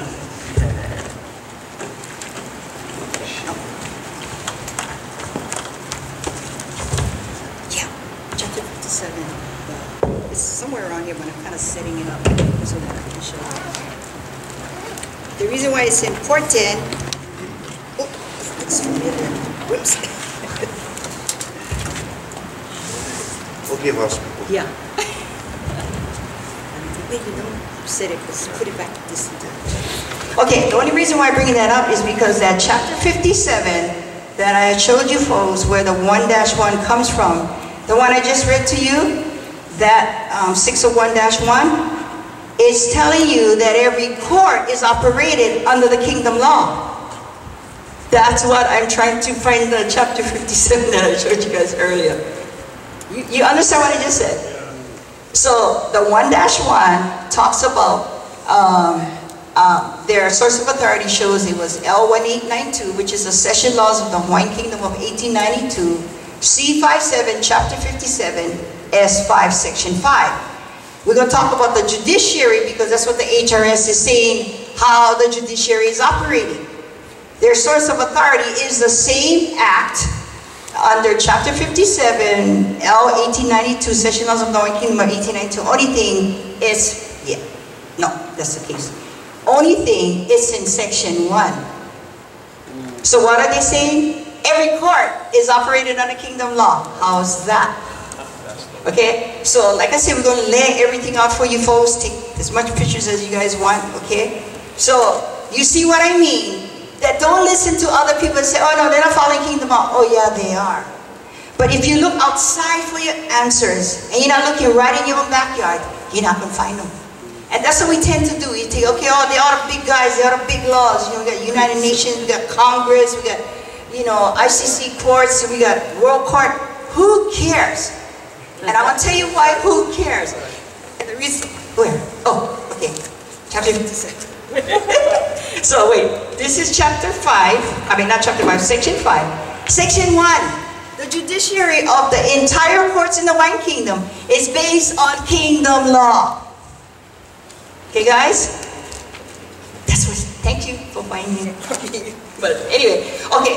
The reason why I'm saying what I'm saying is because all of our answers, I mean, all of our answers is right here. We don't have to move any place and look outside. And I'll tell you why we're not recognized. Because they know if we don't know even who we are, how can anybody recognize us? We need to recognize who we are here, where we are, what laws we have. Our laws give us the identity and the power of our government. And the beautiful thing is the state of Hawaii, the city, county, the federal, all know it, they don't want us to know it. Yep. It's so simple that we're looking way outside over there. Oh, okay, we gotta travel thousands of miles to get to the United Nations. And guess what happened? You know how many times this man goes to the United Nations? He's been going like almost 40 years. And he still have non-stop going. I'm not going against all the things that they do, but I'm saying until we realize what our true identity is, we're gonna figure out what we really own under what law. If the state of Hawaii is using our law as a source of authority, what does that mean? What does that mean? The kingdom is still here. The kingdom is still here. So when people say the kingdom is still here, that's just, it's like a nickname. Oh, the kingdom is still here. Okay, and well, that's what I heard. right? Act like it. That's exactly walk like it. Be like it. It is ours. Oh my gosh, I get so excited. Okay. okay, now, um, in 2000, you know what? Got my magazine in there. Okay, so in 2006, uh, Clyde Namuo, you remember he was the CEO, I think before Kam- Kamanao, yeah? For OHA, okay? So in 2006, he comes to our office. Our office was at 210 Iolani Avenue, going up by Queen Emma, and um, everything was under the One Kingdom. Everything was under the One Kingdom. Electric, water, you name it. Okay, they, everything was put under there. So anyway, he came, four hours he sat with me, okay? And he had a couple people with him. And we did the whole presentation. He goes, so Maya, so how do you guys pay? How much you guys pay? I said, about 2500 a month. So how do you guys pay? I go, right here. And I put it into my pocket and he thought I was laughing. He goes, no, really, what's your 501c3? I go, what is that? I go, we're not, I said, we're not U.S. citizens. You gotta be a U.S. citizen to get on 501c3. No. Because if we accept that, then we accept that it's a federal entity. We now federalize. Oh. I said, that's not gonna happen. All 501c3s is not the state, it's federal, and it makes you another federal entity. That's how they can tell you you are a U.S. citizen. Under, so everybody who's under the 501c3, you guys are U.S. citizens. And that's how they can pay you and do the things that you do. But they do that in type to entice you, says, oh yeah, you can get free money and da da da da da. But who are you labeled as? That's a disconnection they want from you. okay, by being a part of that. So I said, no, we don't have none of that. Yeah, I want to help you. And then I said, okay, we got AHA coming up, and you know, and he said, how much you think of me? I said, I don't know, I don't a couple thousand dollars or whatever. And we had no plans of asking him, not knowing what's coming from him. He said, Maya, let me know, give me the amount, and then come down to my office. And then I said, I, I I'm not no 501c3, I'm not gonna get any 501c3, I ain't gonna open no business, no. and then he goes, he goes, don't worry, Maya. He goes, because on my signature alone, he goes, I can give you up to 25 grand. Well, we never need that much. So anyway, after we figured out everything that we we're gonna have to put on the palace and whatever, it came up to $10,000. So we went, and he said, you know anybody who has a 501c3? I said, like you, I backdoor, and he goes, no worry, my Maya, don't worry. Okay, so anyway, wait, it's around. So, so anyway, um, I knew somebody, and that somebody went ahead and um, they knew who he was, and they go, good, because it's somebody that, um, that they know that uses all OHA funds a lot, grants for educational purposes. So anyway, I went ahead and asked him, he said, yeah, in maybe about a month, month and a half later, we got that. People wait long time, but not us.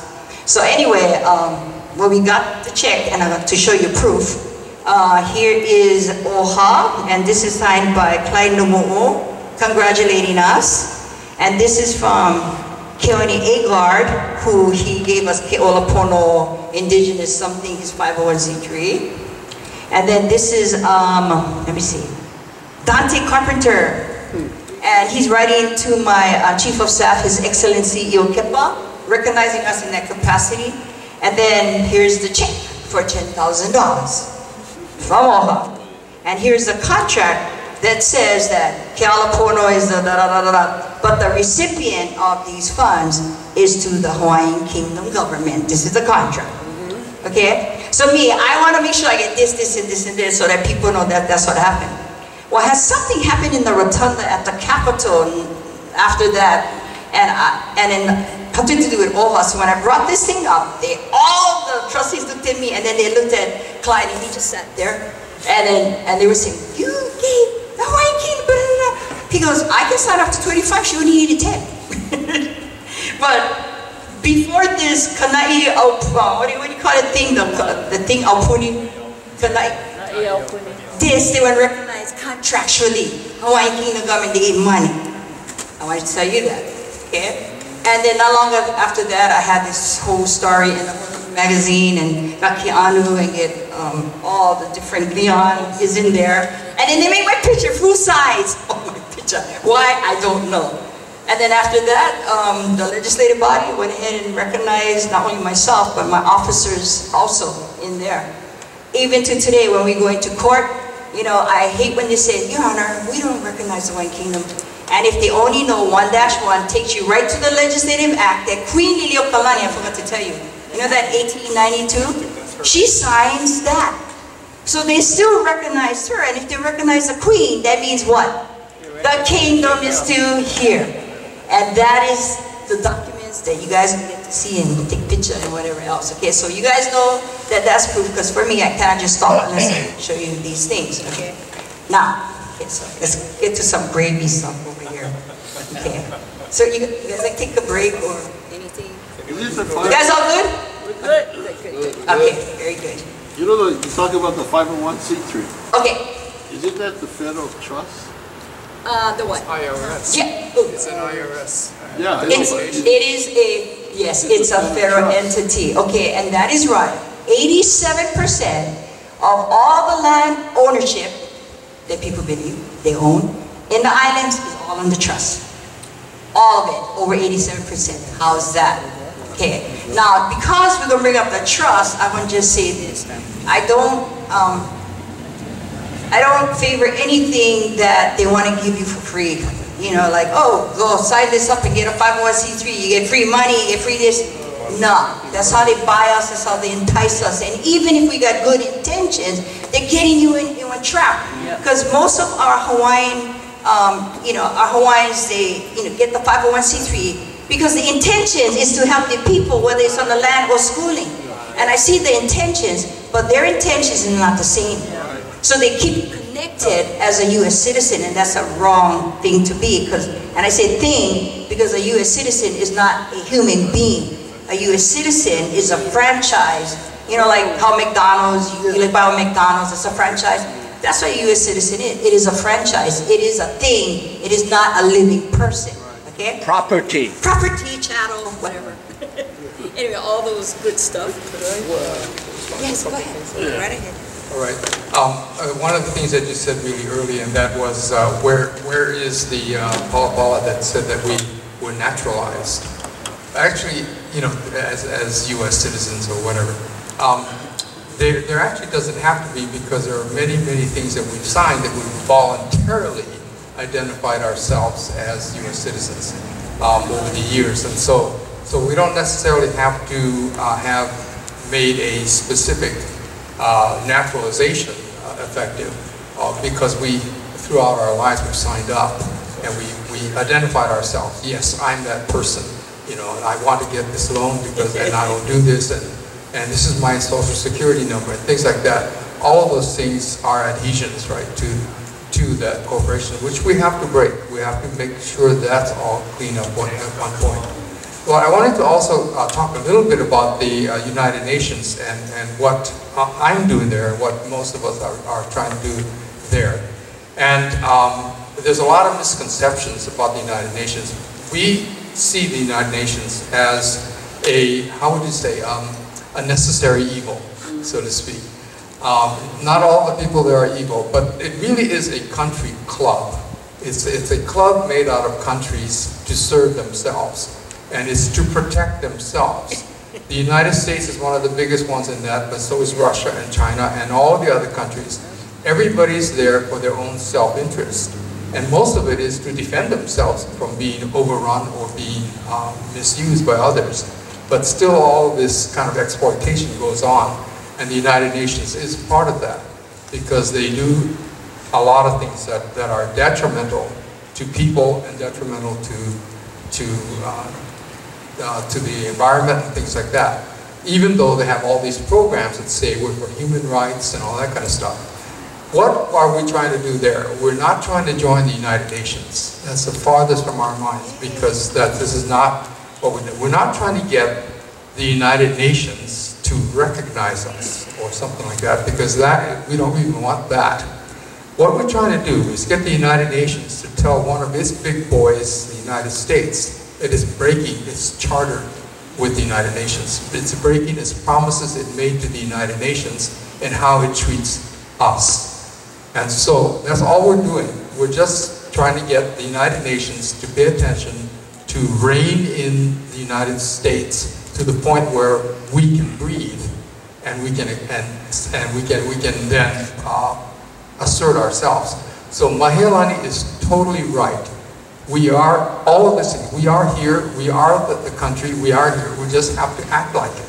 We have to, and that this is what will help to trigger the other countries of the United Nations to bring the United States into check. Because if they see that we are asserting ourselves, that we are serious about this, that we have actually reclaimed who we are, not reclaimed, we've actually reactivated who we are. And we start doing these things together and we start showing up on the map, we start raising our profile, they will see that and they will rally to our side. Not so much to support us, but basically to bring the United States and take them out of the picture. You know, to hold the United States back from, from uh, overreacting to us. So this is what we're doing there, and, and we're, we're making really good progress. It takes a lot of years, it takes a lot of time, because diplomacy is slow. Lawsuits are fast, but they're also, they, they can be over and they can go, go against you. You know, uh, you can bring up a lawsuit, and in this, this world and in this uh, situation, we'll lose all those lawsuits because we don't have the clout to really push them. But we can use diplomacy and make friends. Lawsuits actually makes adversaries. You know, I was just reading um, recently uh, Keanu's uh, protest and demand uh, at the United Nations, and he names 173 countries that have successor treaties with the Hawaiian Kingdom, and he's absolutely right. They all have a responsibility to uphold the treaties that we had made with their colonial powers when they were colonies. Every one of them. But what's he telling them to do? He's telling them to, to, he's demanding that they recognize the Hawaiian Kingdom. And that's, on most of the countries, that's suicide, you know. But, and what I'm trying to do is make friends with them, saying, you know, hey, we're here, we're coming along, uh, and you're going to see in a little while more of us, but get yourselves ready because we're going to help, you're going to be able to kokua us in a way that's not threatening to yourself. You know, and that's what we're setting that up right now. So we're getting really close to, uh, to doing that, but it takes time and, it, and it's all under the surface. I was, I was asked today by somebody, and said, shouldn't we publicize what we're trying to do? I said, no, that's the last thing we want to do.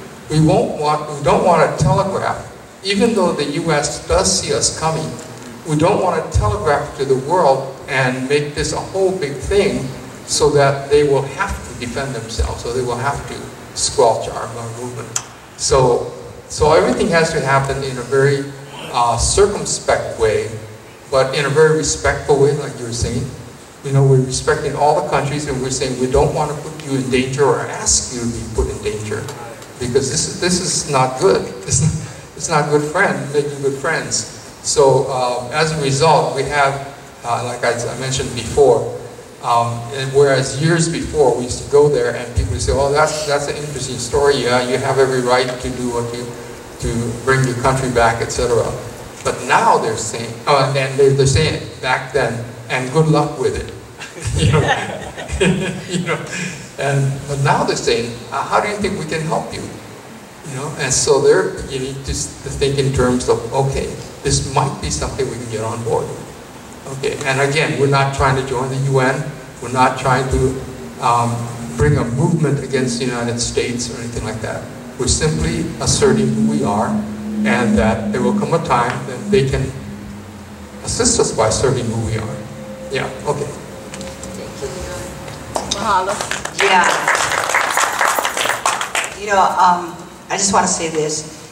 I so uh, admire and respect Leon um, for four decades that he has put himself in the limelight. And he's, uh, he's truly aloha. You don't see him angry, yelling, swearing, cussing. He doesn't do stuff like that, but he surely has been able to connect with many people from across the world. So he has a lot of allies in the different nations, and I truly understand, you know, um, where he's coming from. So thank you so much, Leon. um, okay, so I got okay, chocolate candy here, Tootsie Roll. okay, so I wanted to show you that the case that we won, um, and so that you know, it was here. And it was on um, March 13, 2012, and we filed and we answered because they arrested us in the Iolani Palace because they said we were criminally trespassing. So here's my question, and Bill Aila, you know you guys from this area. so I told him, uh, because he wanted us to leave the palace after about five years of being in, and just for that day I said, why? And he goes, you know APEC is here. I go, and? And he goes, and they want to visit the palace. I said, well, we are the hosts, of course. Yeah, sure. We want to meet them. We want to check out their credentials and everything before we let anybody in. He goes, oh, no, we're going to do that. So we have to have you leave. We're not going to go. And so after about two, three hours of trying to struggle with us, all I told him, we will graciously leave, show us the title to the land. And he goes, oh, my God, no go there. I said, no, I'm going to go there, Bill. I said, show me your title to the Iolani Palace. And then he goes and he got like 15, yeah, about 15 attorney generals. They're all there on the Iolani Palace and they're all huddling, talking. He goes, okay, my Maya, so this is what we're going to do. We're going to let you guys go. We're not going to arrest you or anything because there's 200 people in the palace for 22 of us, okay?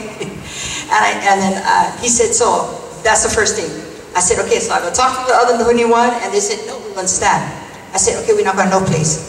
Then he comes back again and he goes, okay, so Maya, he said, we're going to arrest you guys, but then only going to cost you $25 to bail out. I said, we're still not leaving. I said, Bill, show me the titles that you have for this place. And he goes, I'm not going to go there. I say, I'm going to go there.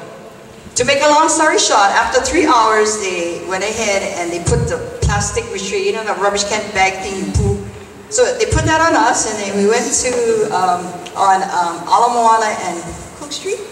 Ala Moana and Cook, there's a holding cell. They didn't have a court order, they didn't have a warrant. And the chief enforcement for the attorney general said, what the hell are you arresting there? We don't have nothing or whatever. After being there for three hours, they took us, 2.30 in the morning, we're at the attorney general's office behind of the old ID, Kikuna old building. And they're getting an order after we've been there for a couple hours in the holding cell. This is how bad it was, okay?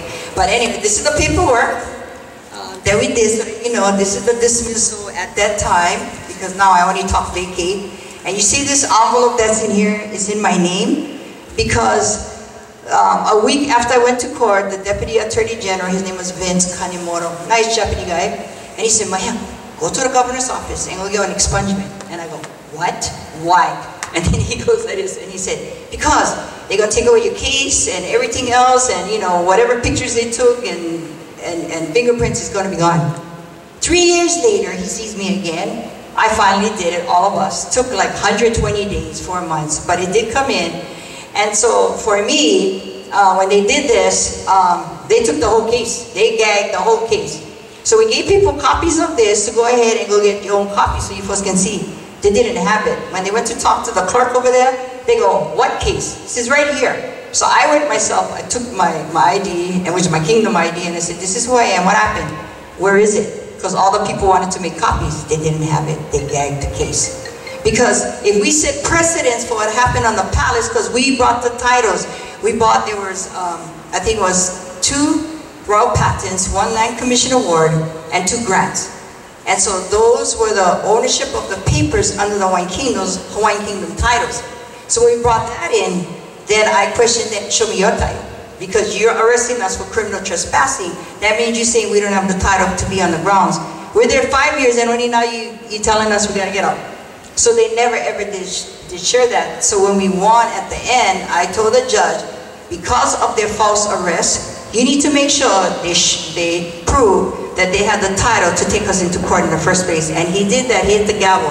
2012 to today, they still never showed it. To today. They still didn't show they have title because the state don't have title any place because everything is in the Maka'ainana because the Konohiki are no longer here.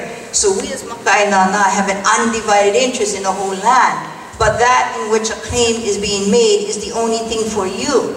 Everything that's outside is something we gotta malama ourselves. Because this is the country's obligation to have that. And it doesn't matter whether you get 1% or 50%, 100%, it doesn't matter. It matters that there is no quantum involved in the kingdom, there never was. That's why I'm so against Hawaiian homes because of the fact, I mean, I'm 75% Hawaiian, my kids got And they don't need to worry. But that's not fair to the majority of our people who doesn't have 50%. It's just not fair, you know, and they have to go Congress over drop this to 25% and then another 132nd. That is shameful that, you know, we have to go through all of these different things. But anyway, that's you folks that we did go to court and we did win.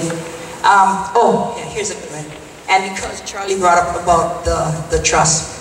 Okay, so you guys heard of the Admission Act? Huh? You guys don't know what the Admission Act is? The Admission Act is when this became the state of Hawaii on August 21st, 1959. You guys now remember? Okay, That's called the Admission Act, okay? So this came from the website of the state of Hawaii, again, just like the chapter 57, just like the, um, the 1-1, all that is from, you know, the state capital, right there on Beretania Street. Well, something very interesting. Okay, so this is what it says. It says that, oh, you're gonna love this. You're gonna see something that you never saw. Maybe some of you may know. I don't know if Leon knows, but anyway, I'm gonna bust it anyway. Okay. So this is called the Admission Act. And right in the middle, this is what it says. It says, the Admission Act is a federal public trust. What? Did you guys get that? Let me say that again. The Admission Act that created the state of Hawaii government, it says the Admission Act is a federal public trust.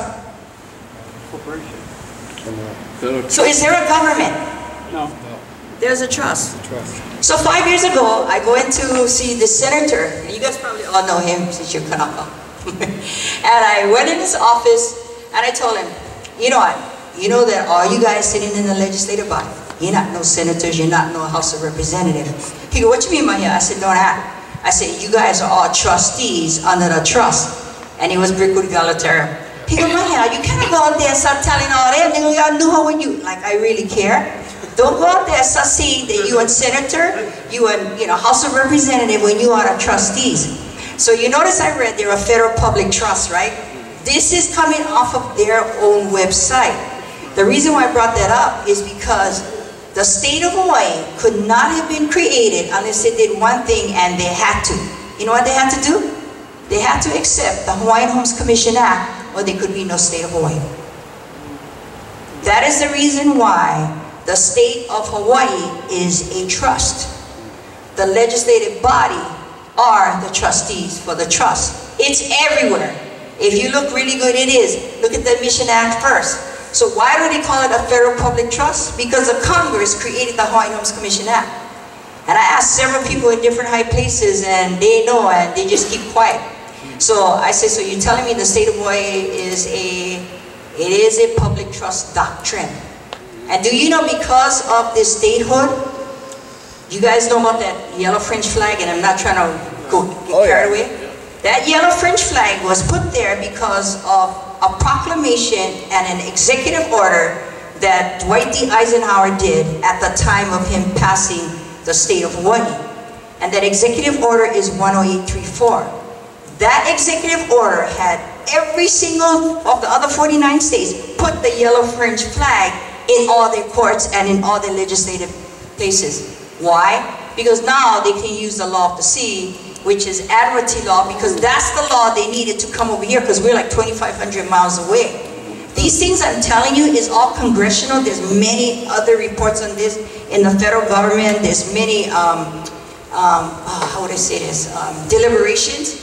And in reading this, that's when I really found out about the Admiralty law. And we actually did some pala pala, and we actually won things that I created maybe about, let's say about maybe seven years ago when I put that together.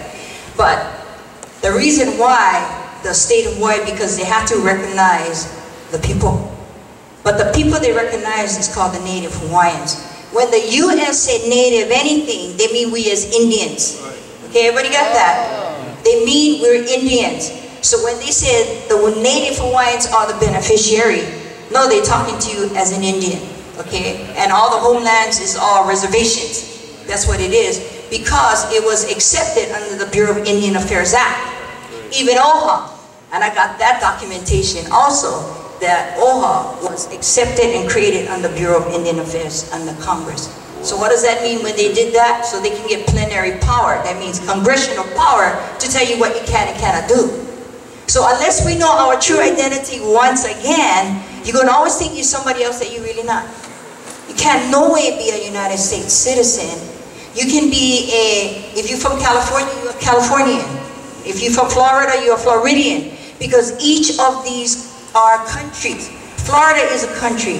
They got their own flag like us. They got their own anthem like us. They got their own seal like us because they're sovereign countries. So when they became the United States Congress, they were independent countries as republics of Florida, Mississippi, and all of them. So before, when you would ask them, where you from? Oh, what's your nationality? Oh, I'm a Floridian. I'm a Californian. Because they're talking about their identity for their country. So the United States needed to get their hands in all the different states. So what did they do? They created the states of, which is a corporate side of that. So the United States, um, the United States government, um, they really couldn't create a citizenship for the United, the corporate United States or the federal United States. And all these things, you can actually go online. Online, got a lot of good things that you can look at. Look at a lot of congressional things that's going on out there. But just so that you know, why do you think they call us Hawaiians? They want you to think that that's your race. No, it's not. It's never happened. It's a political identity. And every time they, they call you Hawaiian, they're recognizing your true political identity for this country. We are the government. I'm going to read you something. This is going to totally blow away. I need you to hear this really good, okay? Because this one is two um, certified documents from the archives again. And I thank God for all of these things that happen, okay? Um, everybody heard of the Mahele, the great Mahele, 1848, uh, Kidoki. You're going to read it as what he intentionally meant it to be, because everybody thinks, oh yeah, one-third king, one-third Konohiki, one-third Maka'ainana. Aloha, no, that never happened. This is the legislative act signed by the legislature, I'm sorry, the legislature and the king. Okay? And when you come and you want to take pictures, please do because then you can take this to get your own, you know, from the archives, okay? And so, um, anyway, this is with the king, Kamehameha III, with his premier, or just like a Kuhina Nui at that time, and um, the House of Nobles and the representatives. So that makes up the body that's going to pass laws, okay? And in here, he's going to, um, what do you call it, in the 1848, this is what's going to happen. It says that um, uh, the act relating to the lands of His Majesty, hold on, let me see if this is the one. Hold on, 18, no, not this one, this one. Because if you don't know your laws, you're not going to know anything. You need to know this. And this is really the basics of where our lands are coming from. Okay? Okay, so this is what it says. It's an act relating to the lands of His Majesty the King and of the government. And this was approved, signed by the King and the legislative body in the kingdom, June 7, 1848. And it says, whereas it hath pleased its most gracious Majesty Kamehameha III, the King, after reserving certain lands to himself as his own, as his own private property. You notice the word is private.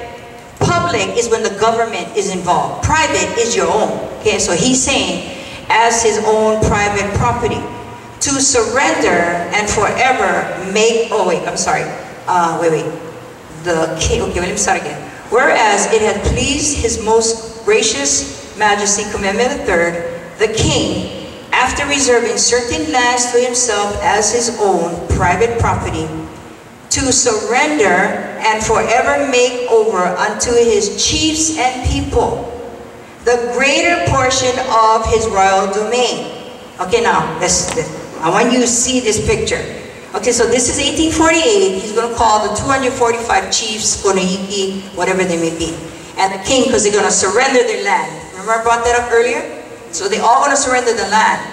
But in order for them to get the title, at least with the Land Commission Award, they're going to go have to make their claim. All right? Okay. So what he's saying is that all the Konohikis didn't have the gold or silver. So what did they give up for the commutation? They gave up land. Because it's equivalent, because gold and silver come from land. So they were able to exchange their land, land in full payment, which is called commutation. The commutation was one-third unimproved value of the land. Once they did that, their taxes was paid. Okay? Everybody got that? So this is what he's talking about. All the lands that was given to him, after the chiefs did what they did, all of that is now the king. He kept a small portion to himself, and he gave almost two-thirds away of his land to the chiefs, the people. So he continues to give the ali'i, he continues to give to the ali'i and the maka'ainana, because the chiefs and the people is ali'i, konohiki, and maka'ainana. He says it right in here, okay?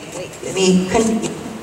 Then he says, And whereas it had pleased our sovereign Lord, the king, to place the land so made over to his chiefs and people in the keeping of the house of nobles and wait, wait, House of Nobles and representatives, the House of Representatives, or such person or persons as they may from time to time appoint to be disposed of in, um, wait, wait, to be disposed of.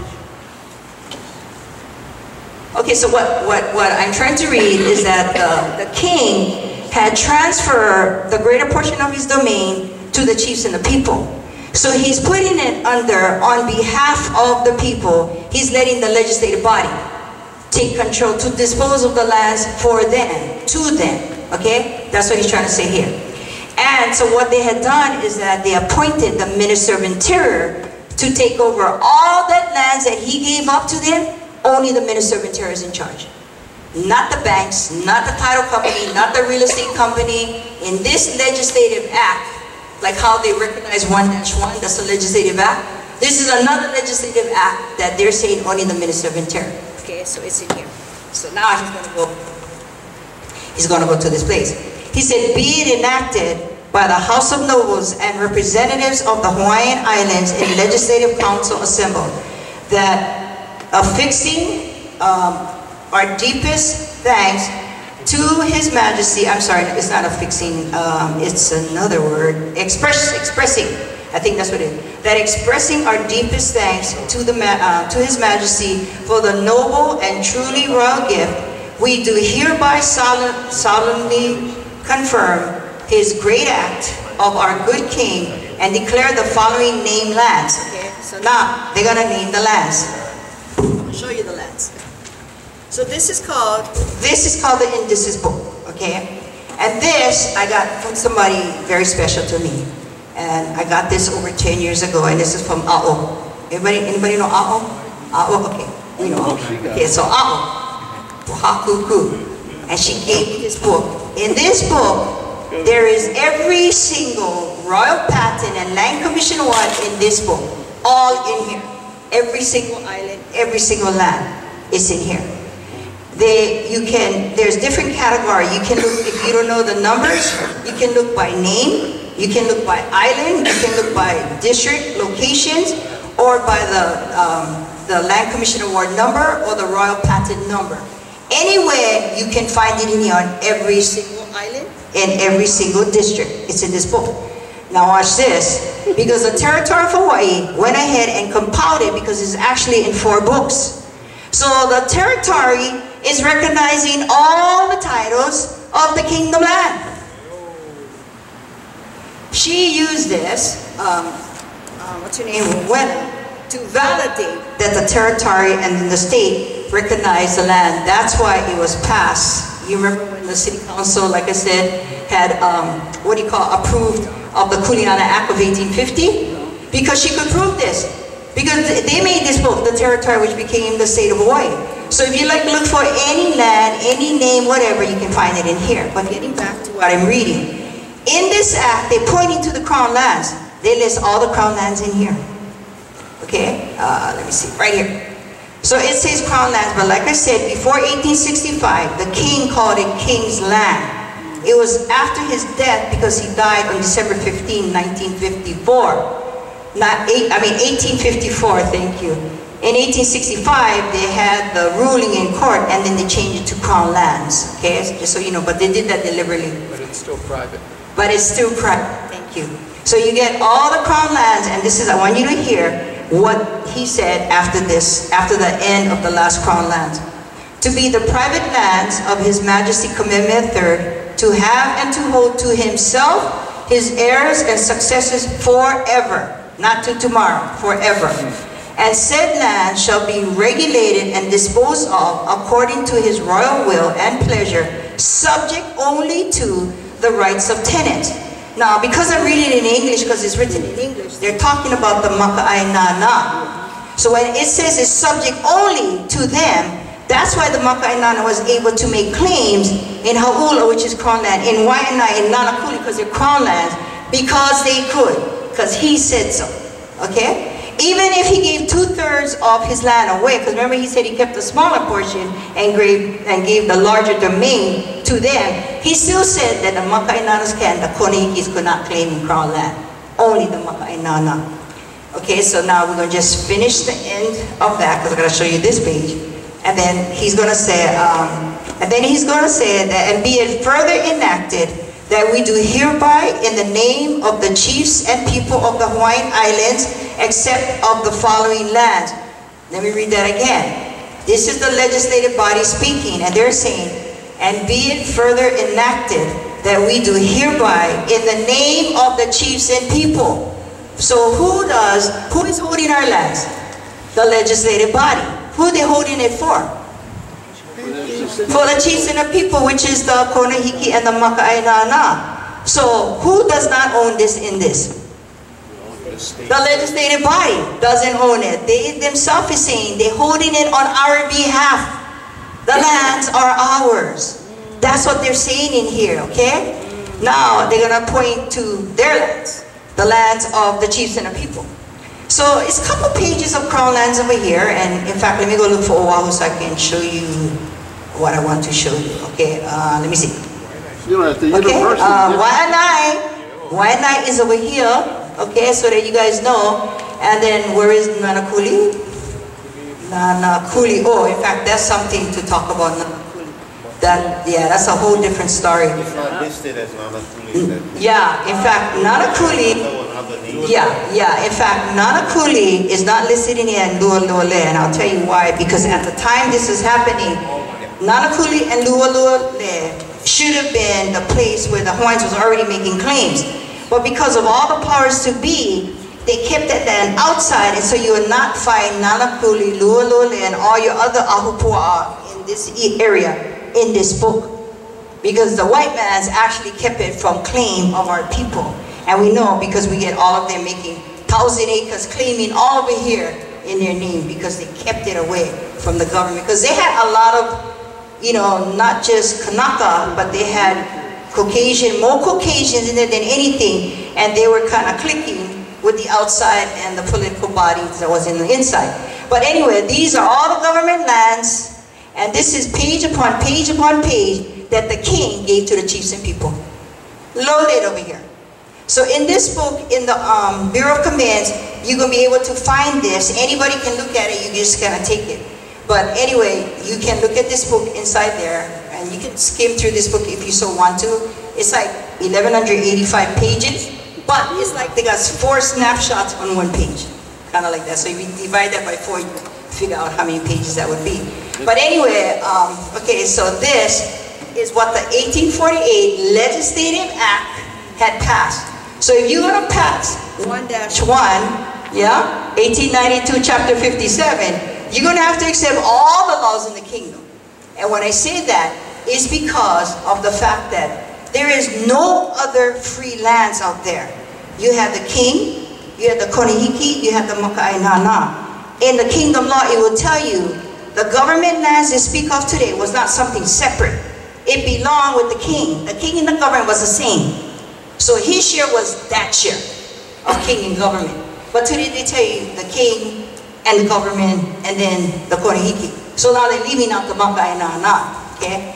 Now something very interesting, because while I was working on Ha'ula and the Pala Pala and going down there, this is what I realized. When the territory of Hawaii took in, I mean came in in the 1900s, what happened is that they were saying, okay, we got all these lands because the Republic of Hawaii gave us that. But if you read it really good, the Republic of Hawaii, which had no authority, what they were conveying to the United States was any and all other public lands. They were talking about public lands. Royal patents, land commission awards, crown lands, private lands. All private lands. Konohiki, so the Kohe- made their first, um, their first claim, and then the king had everything else. He kept a portion, then he gave the rest to the chiefs and the people. What's left? What's left? No, nothing left. There is no public land. You guys hear what I'm saying? You, it's, you just gotta see this and you gotta read the legislative act and it's like, oh, there's nothing left. There is no such thing. But you know what these guys, these, crooks did? When the territory came in, first of all, the Republic Hawaii was stealing all the lands. They was taking up all the lands and everything else. Then when they came in and they said crown lands belongs to the territory, you know what they did? All the LCA, the Land Commission Award lands that um, the Maka'ainana was claiming all over in the crown lands, they took away all that lands and they said that's crown lands because they were living on crown lands. But they didn't know that the legislative act was passed that allowed them to claim in there. Because who gave them the Land Commission Award? Who gave them one royal patent? Was the government. Because they had to follow the legislative law.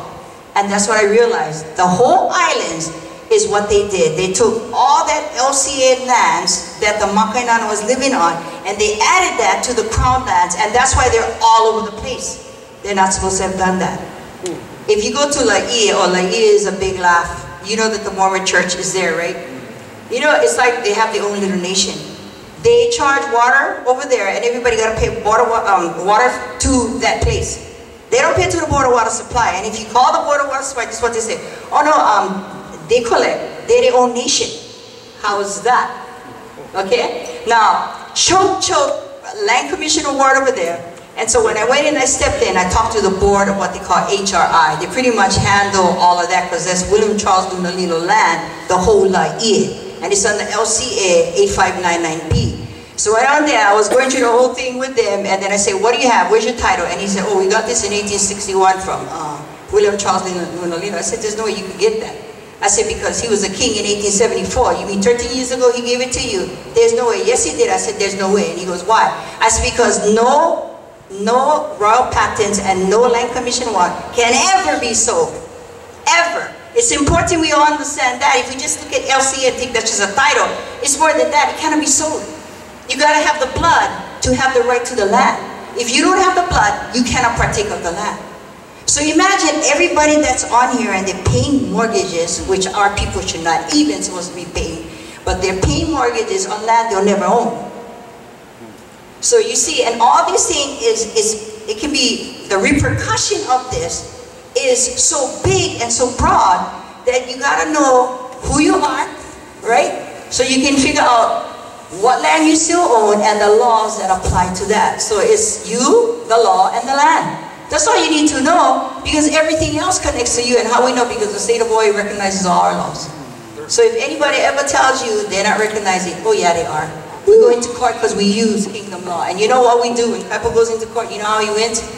On, in, on Alakea Street, the Alakea Courthouse, that block right up there, it has 11 royal patents, land commission award, grants and all that. He pulls all the certified copy of all of that. He files the paper and he tells him, because you need two jurisdiction. You need personam, that means over your body, and then you need, um, um, uh, what do you call that? Subject matter jurisdiction. Subject matter is you need to have the geologic, I mean geographical location. So we got them with the? We got them with the titles right to the land, so they don't have subject matter jurisdiction because it's about the location. And they cannot have on him because the only way he can attach to the title to the land is because he's a maka'ainana. And so when they see him, they already know what he's gonna do. And he's already going out the door. I mean, it's like, why are you bringing these people in the courtroom? Because we go, oh, how are you? How's your day? this is us when we go to court, we're very alone. but in the end, when we go out, you know, going to smile because they know and they're not going to deal with us. Because if you're going to take us there, we're going to take you there. You want to go far, you want to go long, we're going to far along with you. Because every time we're going to talk to you, we're going to bring out more HRS, more HRS that you violating. Now you have a right to go ahead and you can actually remove them from office if you find them to be incompetent. If I got to tell you your laws and you're incompetent, that's how you remove anything, anybody, the governor, the mayor, the legislative, because they don't know the law. And that's all, it's so simple to do stuff like that. Um, okay, the last thing I'm to show you folks, okay, um, actually there was another act and I'm to just summarize real quick. In here, this is about a year later after 1848, between 1849 and 1850. Why is this important? Because in here, the king said, oh, I, I, thought the lands were supposed to come back to me when I gave it up. Remember he gave the larger portion of his domain, which is about two-thirds? The king is now talking about a year or so later, and he said, oh no, I thought it came back to me. And so his um, Kuhina Nui and uh, the House of Nobles said, no, you know, His Royal Majesty, that's not what happened. So they went explaining, and he goes, oh, okay. And so Gerrit P. Judd is going to step in, and he's going to say, the reason why we had to do what we do is because in the future, the foreigners may think they have an interest in the land. They're speaking about this in 1849, guys. They already would predict what would happen in the future if they didn't secure the titles to the law to the people. And that's why this is to me is, these two documents is one of the most, to me, the most important document because it's the basis of how the lands is going to get into the hands of the Maka'ainana. Okay, so this is an 1848 one, and this is uh, 18, they say between 1841 and 1850, but obviously it had to be 1849 or 1850 because of the fact that they're referencing to the 1848. Okay, so let me put that there. Okay, hold on. I talked to you guys about it's a federal public trust, right?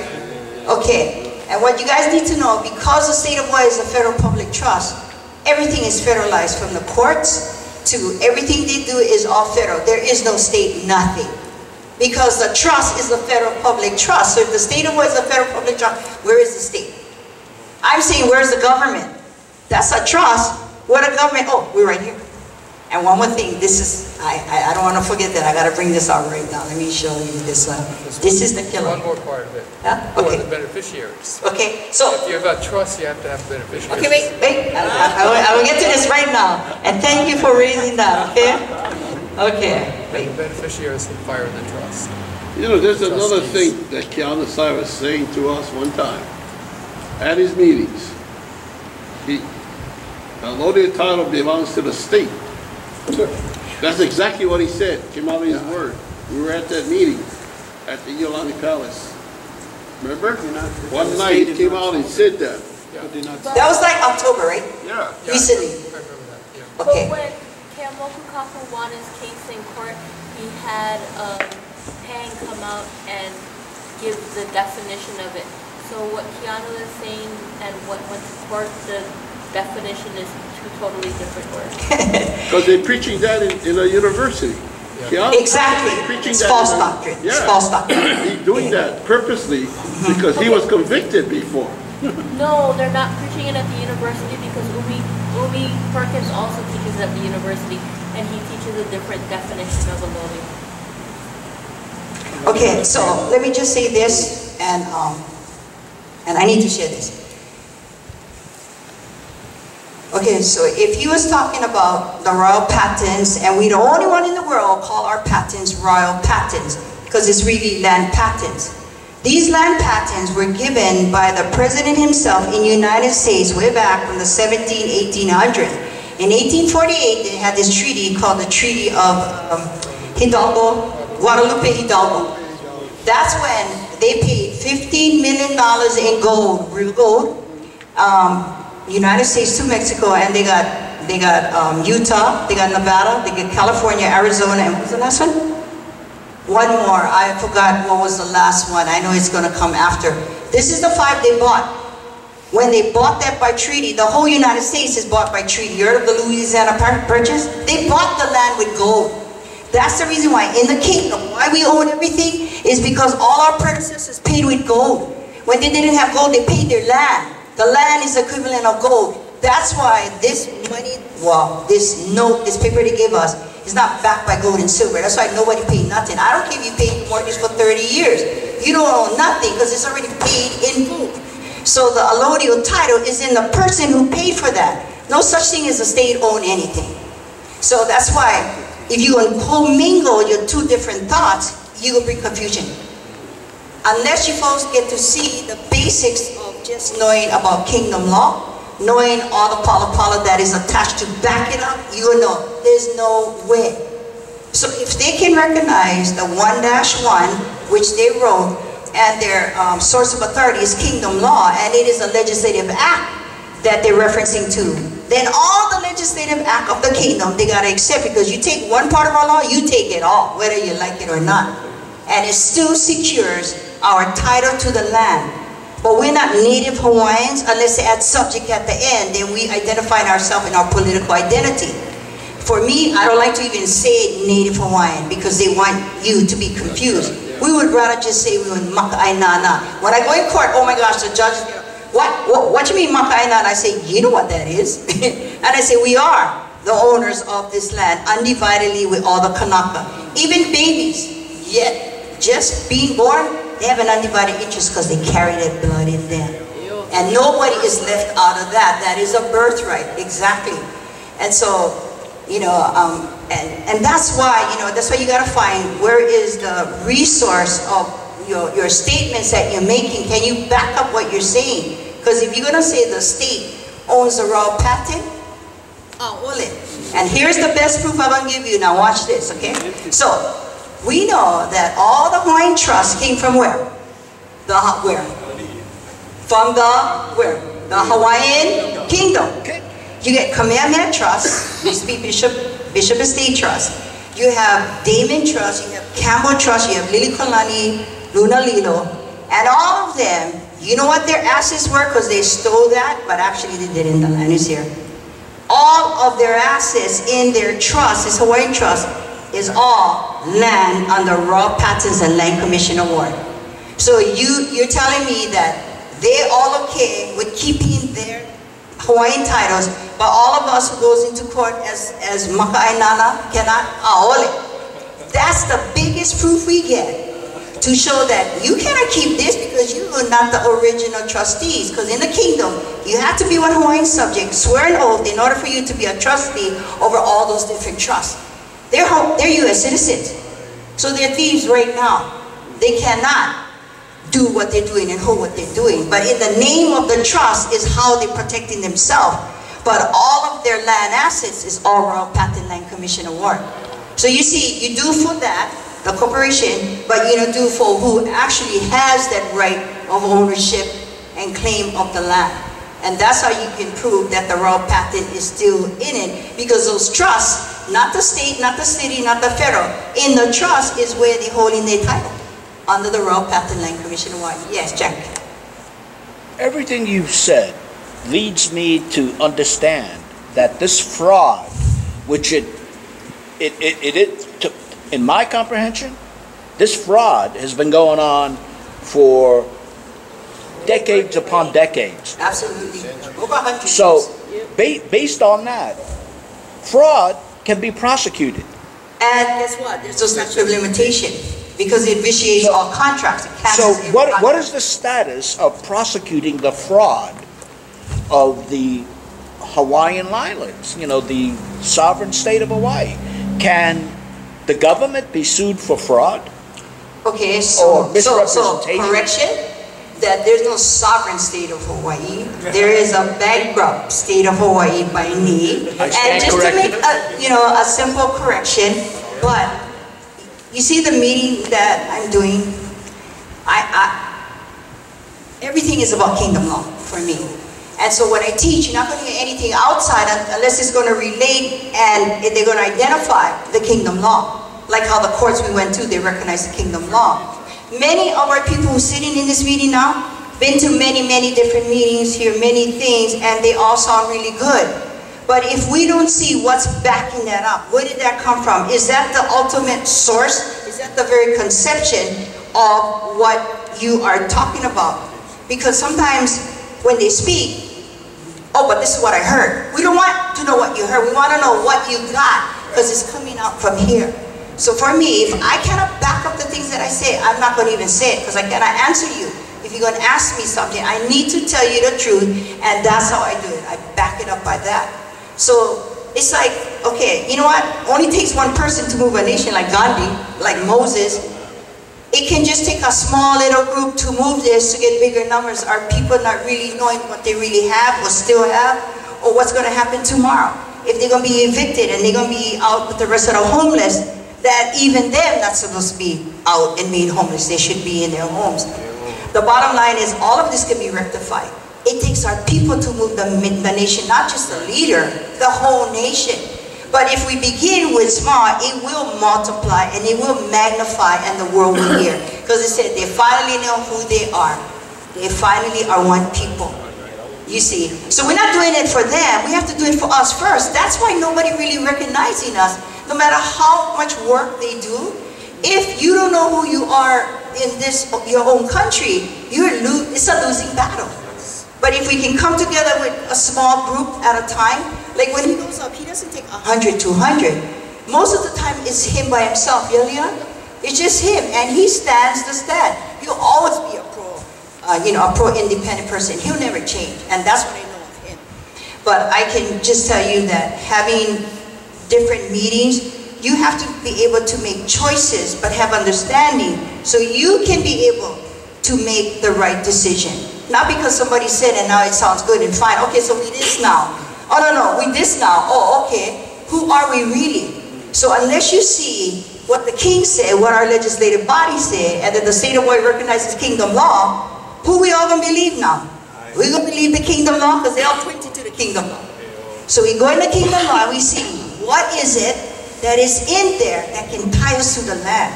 Because we have more authority than the governor and then the mayors and all of them. I wanted to say one thing. Um, and I, I, I want to throw it out there so that you guys can understand where I come from because I, I can't just do this and finish this without telling you. So you have people in different um, organizations or institutions, like you got the, uh, like you got the legislative body, and you get the city council. And I believe that in what Jen Ruggles, she's an awesome person, the people love her up in the Big Island. But the thing is that she needs to look inside in her position in that seat she holds, because that's the seat that continues to plunder and pillage that real, real property tax that people are still paying all over the island, especially for Hawaii. So instead of looking out and suit the state, look into your own first. Take care, clean your house first. You know what I'm saying? And that is for every single city and county, county council person. And I just believe that she's looking somewhere else, and I believe she's being led to look somewhere else when she has to look in her own back door. Because even while she is, um, she's not sitting on there, because her old connects her to that office and that position, whatever decides, she's part of the decision. Because she's still yet, and if she's getting paid every two weeks, she is, and it's been a couple months that she's been off there. So you're still attached to it. But everything she does, she has a big heart. She may not be Kanaka, but she got a big heart, and she means well. But for me, I would rather her begin to do something like, I need to look at the city and county planning and the permitting, because they're telling us how to build our houses. And then we gotta wait, oh, we don't like you, so we're not giving you the permits. You see what I'm saying? So you cannot do many things. And oh, by the way, we paying, you saw the taxes now. My girlfriend owns this house. She paid thirteen hundred for the year. They just gave her her new bill, fifty-eight hundred from next year on. They're doing that because of the rail. It's a dumb rail, okay? Now the rail is another thing because the city council for Honolulu approved of it. But guess what? You know where that rail started? Where did it start? Anybody know? In Kapolei? You know what is the real name of Kapolei over there? It's called Honouliuli. Okay. Honouliuli is 43,250 acres. One royal patent, Miriam Kekauonohi. Miriam Kekauonohi was married three times. Kamehameha II, she married to um, A'arona Keliiahonui, which is the, the king, the last king of Kauai's son, King Kaumuali'i. That's my ohana on my mom's side, and I know that particular line. And she also has a land commission award. Guess what happened? In 1931, the court's gonna be big bodied because they're gonna go ahead and they're gonna use this land court thing that they do in the mainland, and they went ahead and they covered the whole 43,250 acres, put it on the land court. Under the Hawaiian homes, they're not supposed to go on private land, only supposed to be crown lands, they're supposed to give leases. They stepped on there purposely, not to go take care of Hawaiians, because look at them. Look how many were supposed to build, but they get Ka Makana Ali'i. Who cares? They get tons and tons of shopping center all over Kapolei, as you folks know. Why are you gonna make one in there? You could be building houses, right? But they did that because now a federal can, they can move in to get federal grants and funding to do, to match up with the state to put the rail. The rail is on private land, on the one route path and one land commission. How I know? Because they ain't around here. So here is the Land Commission Award, 11216, that tells you it's private. Here's the Royal Patent, 6971. Now, the reason why this is very interesting, and maybe some of you guys will want to know this case, and is the case is called Paty, uh, no, no, no, not Pe Ahi versus Paty. That particular case was a 1980-something case, 82, and it finished in 88, if I'm not mistaken. But what happened is that the state when defined that there are public lands and private lands. So this person, they used to call him Hawaiian, his name is Napeahi from Big Island, and he noticed that they were dredging where the Waikoloa Hotel is, and about maybe almost two acres, 1.75 acre, but they didn't have a permit.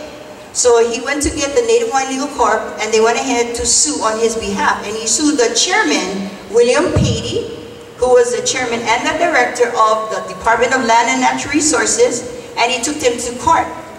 He ended up losing. And you know why he lost? Is because the chairman himself and his defense attorney, the deputy attorney general himself, came forward and he said, that's not, that's not um, public land, that's not ceded land, that's private land. And guess what? They went show because there is a royal patent, there is a land commission award, and one more thing, they said there's a boundary certificate. Whenever I help people, I need to make sure there's that here is the boundary certificate for Honouliuli. So in Waikoloa, they brought these two and this, and this is the DLNR. I want you guys to know they're supposed to manage all the ceded lands. But they came forward and told Napeahi, you're wrong. This is not private land. The private land, which is a Royal Patent Land Commission Award and this boundary certificate created in the 1860s. He said, no, that's private land. What we do is public land. The state only has jurisdiction over state land. Anything they create is supposed to be theirs. And that case, that's why I like that case, because it shows the separation between public land and private land. And the private land is where the LCA and the RP sit. So that case is important, so write that case, okay? Napeahi versus Paty, I think it's 1982 to 1988 case. But, you know, and so that's why I wanted to show you the Honouliuli, we get them all. So we went in to argue with that particular judge before, and he acts really dumb. His name is Gary Wonbin Chang. Just so happened to be the same judge that Ruthie went go after. We was already dealing with him, and you know, so we went in and um, you know, just watching him, you can tell he wants to be honest. But you know, he got all these high-powered attorneys over here, you know, and they go get their barato at the end when they win the case, you know, and that's just how it works because everything is very commercial. But you know, like I said, this is theirs. This is um, these two, this is the Land Commission Award, and this is the royal patent for Makaha, right here. It's private land, the whole 4,000 something acres. But for Waianae and this area, they don't have any on there. Okay, one last thing and then I'm gonna close. Is that this is called the Land Patent Grant Sales Book. You only gonna get this book and this book to talk about land. So what is this? This is the only book where you could find all, anybody who was not Kanaka that they were gonna buy from the government, but they weren't buying land, they were buying real estate. Oh, get you guys thinking, right? Real estate and real property is not land. It's not, okay? It's a, it's a, it's a colorable title, like deeds. Deeds are not titled to land, they're color of titles, okay? But if you're not gonna find them in here, they're gonna make other claims. Like, you know Moanalua Park, the big park? It's supposed to be owned by Damon Estate. He bought 700 something acres. He got them in here. He couldn't get them here because he don't have the cocoa. But guess what? And so that you folks know, that when you got land here, you had to pay every year for taxes too to the Hawaiian Kingdom. And when you did it, they confiscate your land, they auction it because they own the land. That's why you keep paying taxes. So imagine, every land that's out there in the islands, you pay real property tax. When the city council went past, when Rowena helped them, you know why she went in to do that? Because they exempted the people who could, connect themselves to their genealogy, to the original recipient, to be exempt from taxation. Because they're going under kingdom law. You guys see this? They recognize kingdom law. And OHA, to have OHA recognized people, that is the most awesome thing we could have. Because why? Because it'll bring them down to where they need to be. Because they're acting as if they're the kingdom government, and they're not. Okay? Because they were corporation. Okay, it takes people of the blood to create, and I'm sorry if you guys not, but I just gotta tell it like it is, okay? I, I don't mean to offend anybody, but these are the two books that's out there. That's the only place you can find every land in the whole kingdom. If you don't find them in here, it's because it's still under the Hawaiian Kingdom government itself. Okay? So you can find everybody over here. In fact, there's a 60-something thousand acre was to Elizabeth Sinclair. Guess what that was for? Ni'ihau. Yeah, Ni'ihau, no, no, I'm sorry, not Ni'ihau, Lanai. It was Lanai. Ni'ihau got the Robinson. Yeah, the Robinson. But you see, because of the fact that they all pay taxes, Yeah. uh, ole. Those lands are contingent and, I mean, um, um, contiguous to our islands and they make up one country. If you commit treason by being another, having another citizenship, you, lo- you lose everything. And normally, no, not normally, I'm gonna tell you, it is what it is. You commit treason, it's death, they confiscate all your real estate and all your personal property. It is a law, it's never been changed, it never will.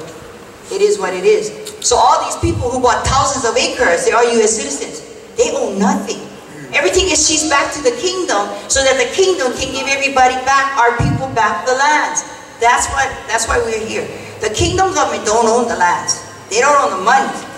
That monies and the lands are used to give it back to our people.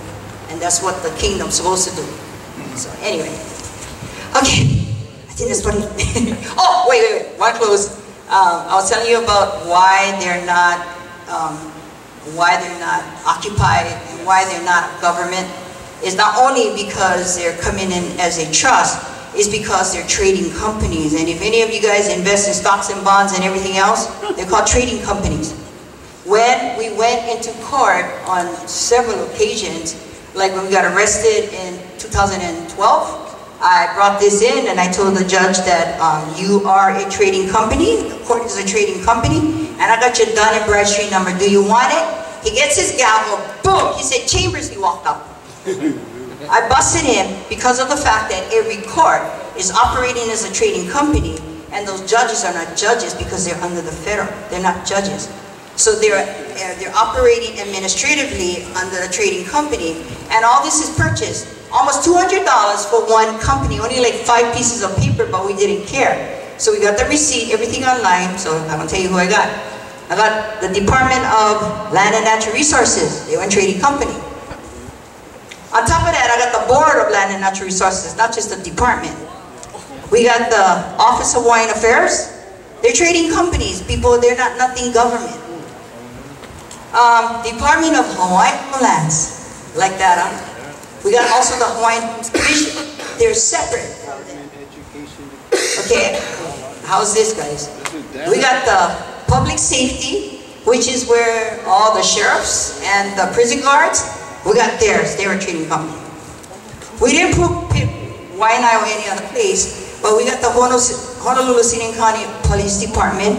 Because every police department, every sheriff, but you know the thing about is that they don't even know. They think they're working for a government. They don't know they're an employee of a trading company who takes, like for instance, in a court, and you know, Ray can tell you she is like AA plus in this area. but the thing about it is that they take your case and they're going to securitize it like how they do it with mortgages, and they're going to sell it and make money off of your name.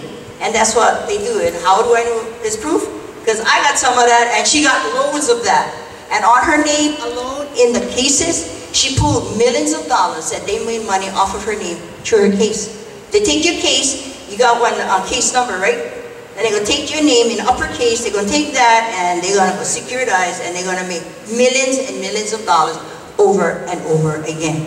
You can get a car loan 10 years ago and they, it's worth millions and millions of dollars. It's the things that they do because they're operating commercially. So when I began to understand this, I didn't look at them as a government and fear. I said, you like any other McDonald's. Well, I'm a Makaina uh, and I'm greater than McDonald's and Kentucky Fried Chicken because that's how you gotta make it. If you make them look like they're not something big, people can gravitate to it. But if you make them look like they got tanks and they, you know, this and they can do this to you, then fear sets in and I don't like doing this, I'm gonna just stay status quo. Right? And that's what happens and that's what we do. We do. We end up just kowtowing and back up. We cannot do that no more. And I would hold all you guys accountable because every one of you guys is sitting in here and everybody is witnessing for each other that this is the truth. And if you guys want to see and whatever, by all means, if you need more, do your due diligence. Go into different places. And like I said, I go to the Supreme Court, I go to Circuit Court. They're all public paperwork that you can purchase. I go to the, you know, the libraries. Know, Hamilton is awesome. You can go to over there. You can go many, many other places. Um, but anyway, um, this is what I have to share. And thank you so much. Thank you to you. And thank you, Kellen. Thank you, everybody. Um, and I don't think I can answer any questions, maybe three. Because my husband got to go work. I got to go take you to work. But I'll ask, I'll, I'll answer three questions, okay? Yeah, Ray. Uh, When we're in court and um, Oh, wait, I got something for you before we go. I'm gonna give you something, okay? If uh, we give the court subject matter jurisdiction and state, okay, you have to be following Hawaiian Kingdom law and enforce Kingdom law, with the Hawaii revised statute, how do we know if they're complementing Kingdom law or going against Kingdom law? Good question. So what you need is to back up where the source of their law come from. If they tell you HRS this and that and so forth, or if they tell you this is this and that, okay, fine. But when you're gonna when you're gonna read it, you're gonna see how they're gonna use the source of authority. Then you pull the source of authority, like the chapter fifty-seven. But you need to certify it, because when you submit anything into court, what I always say is, I am in invoking FRE nine oh two, which means Federal Rules of Evidence nine oh two, when they have to accept anything that's certified as if it's original, because that's what the law said. All of the court said, this is state, this is not federal. And I said, so you're telling me that you're not gonna accept this? Every state court is on the Title 28 USC. And I said, and I'm gonna give you that, oh, they stop automatically. Because I'm gonna take them where they, they, they're gonna act up with me, I'm gonna take them where the law is on their side. And that, I'm sorry, but that's what I do. So in, um, so in your particular case, that's what I would do. I would take whatever documents in the kingdom and I would pretty much hand it over to, to them and tell them that this is who, you know, pretty much they are. I was gonna say something, it just went slip my mind, because I had something for you. You have to make copies for the lawyers too. Um, I was gonna say something to do with that. Say that again? You also have to make copies for the lawyers. When you're in their court, okay, when you're in their court, you- sets like and you answer, okay, so you gotta give them copy and this and that. You know, it's at a point with us, we don't even know go to court. We just, you know, we don't even have to file papers, and if we do, when we do, it's all kingdom paperwork. But we're using their laws that they're using in their document against us, and we're giving them the source of authority of where you got that from. You see, because how come you're using kingdom law if you're not a Hawaiian subject? Only Hawaiian subject can use the kingdom law or the Maka'ainana because the law is what created the rights of them to make the claim on the particular land. But something I had on my mind that I wanted to share with Red. It, but um, uh, with with Red, it's been very stubborn in the courts, and that's Castagnetti. Um, and the other is, and, and, Chang. so she gets the two people that Ruthie was going after that she has already been in court for. The most corrupt judges. Oh, my gosh. Because, you know, because they feel tough. But you know what? I'll tell you something. She knows how to fight that battle in there. there. Is trying to get them to, um, to actually, um, be honest. And, you know, and to be honest takes a lot when you got everybody around you that, you know, you're gonna hang the bank and you're gonna hang the lawyers, because everybody is making barato. They're making their own shares from the, the, you know, the, um, ju- the ju- judgment of the particular judge, you know. Yeah, everybody's getting a cut. So, you know, I guess for me and my husband, when we go to court, because we go in there before, we take other people, and when they said, oh, who, who is she, oh, no, no, she don't have a case, who is she here for? Then we gotta, then I tell them who we're in for, and then he looks at that and he goes, okay, okay, okay, um, we'll pass this case, take them on, boom, go. And all our guys end up, if they had to pay bail, they get their bail back like that. But they shouldn't have paid it, but I don't know what happens to everybody when they're on the road, if it does happen, so it's been about maybe, I think a good five years since anybody had anything like that. For me, I don't pay I've never been arrested for any of that, except when they did that to me on the palace. And oh, I forgot to say that they did arrest us, but they didn't have the warrant and the court order. But we sued them in court for $25 million. Okay? Now, I didn't even pursue it because the kingdom is more important to me than trying to get the 25 million each of us we sued them for. That's how much the kingdom means to us. But we, we, all that paperwork has been done and it's in our paperwork. We think that you on false arrest, us kidnap, extortion, trying to get money for bail. Uh-uh. So that's why we sued him for $25 million and he was found. So that's why they're trying to get rid of the case, but they cannot because we get the stamp from the clerk, each one of us oh. got the original paperwork that was stamped. So I'm sorry, we still got it.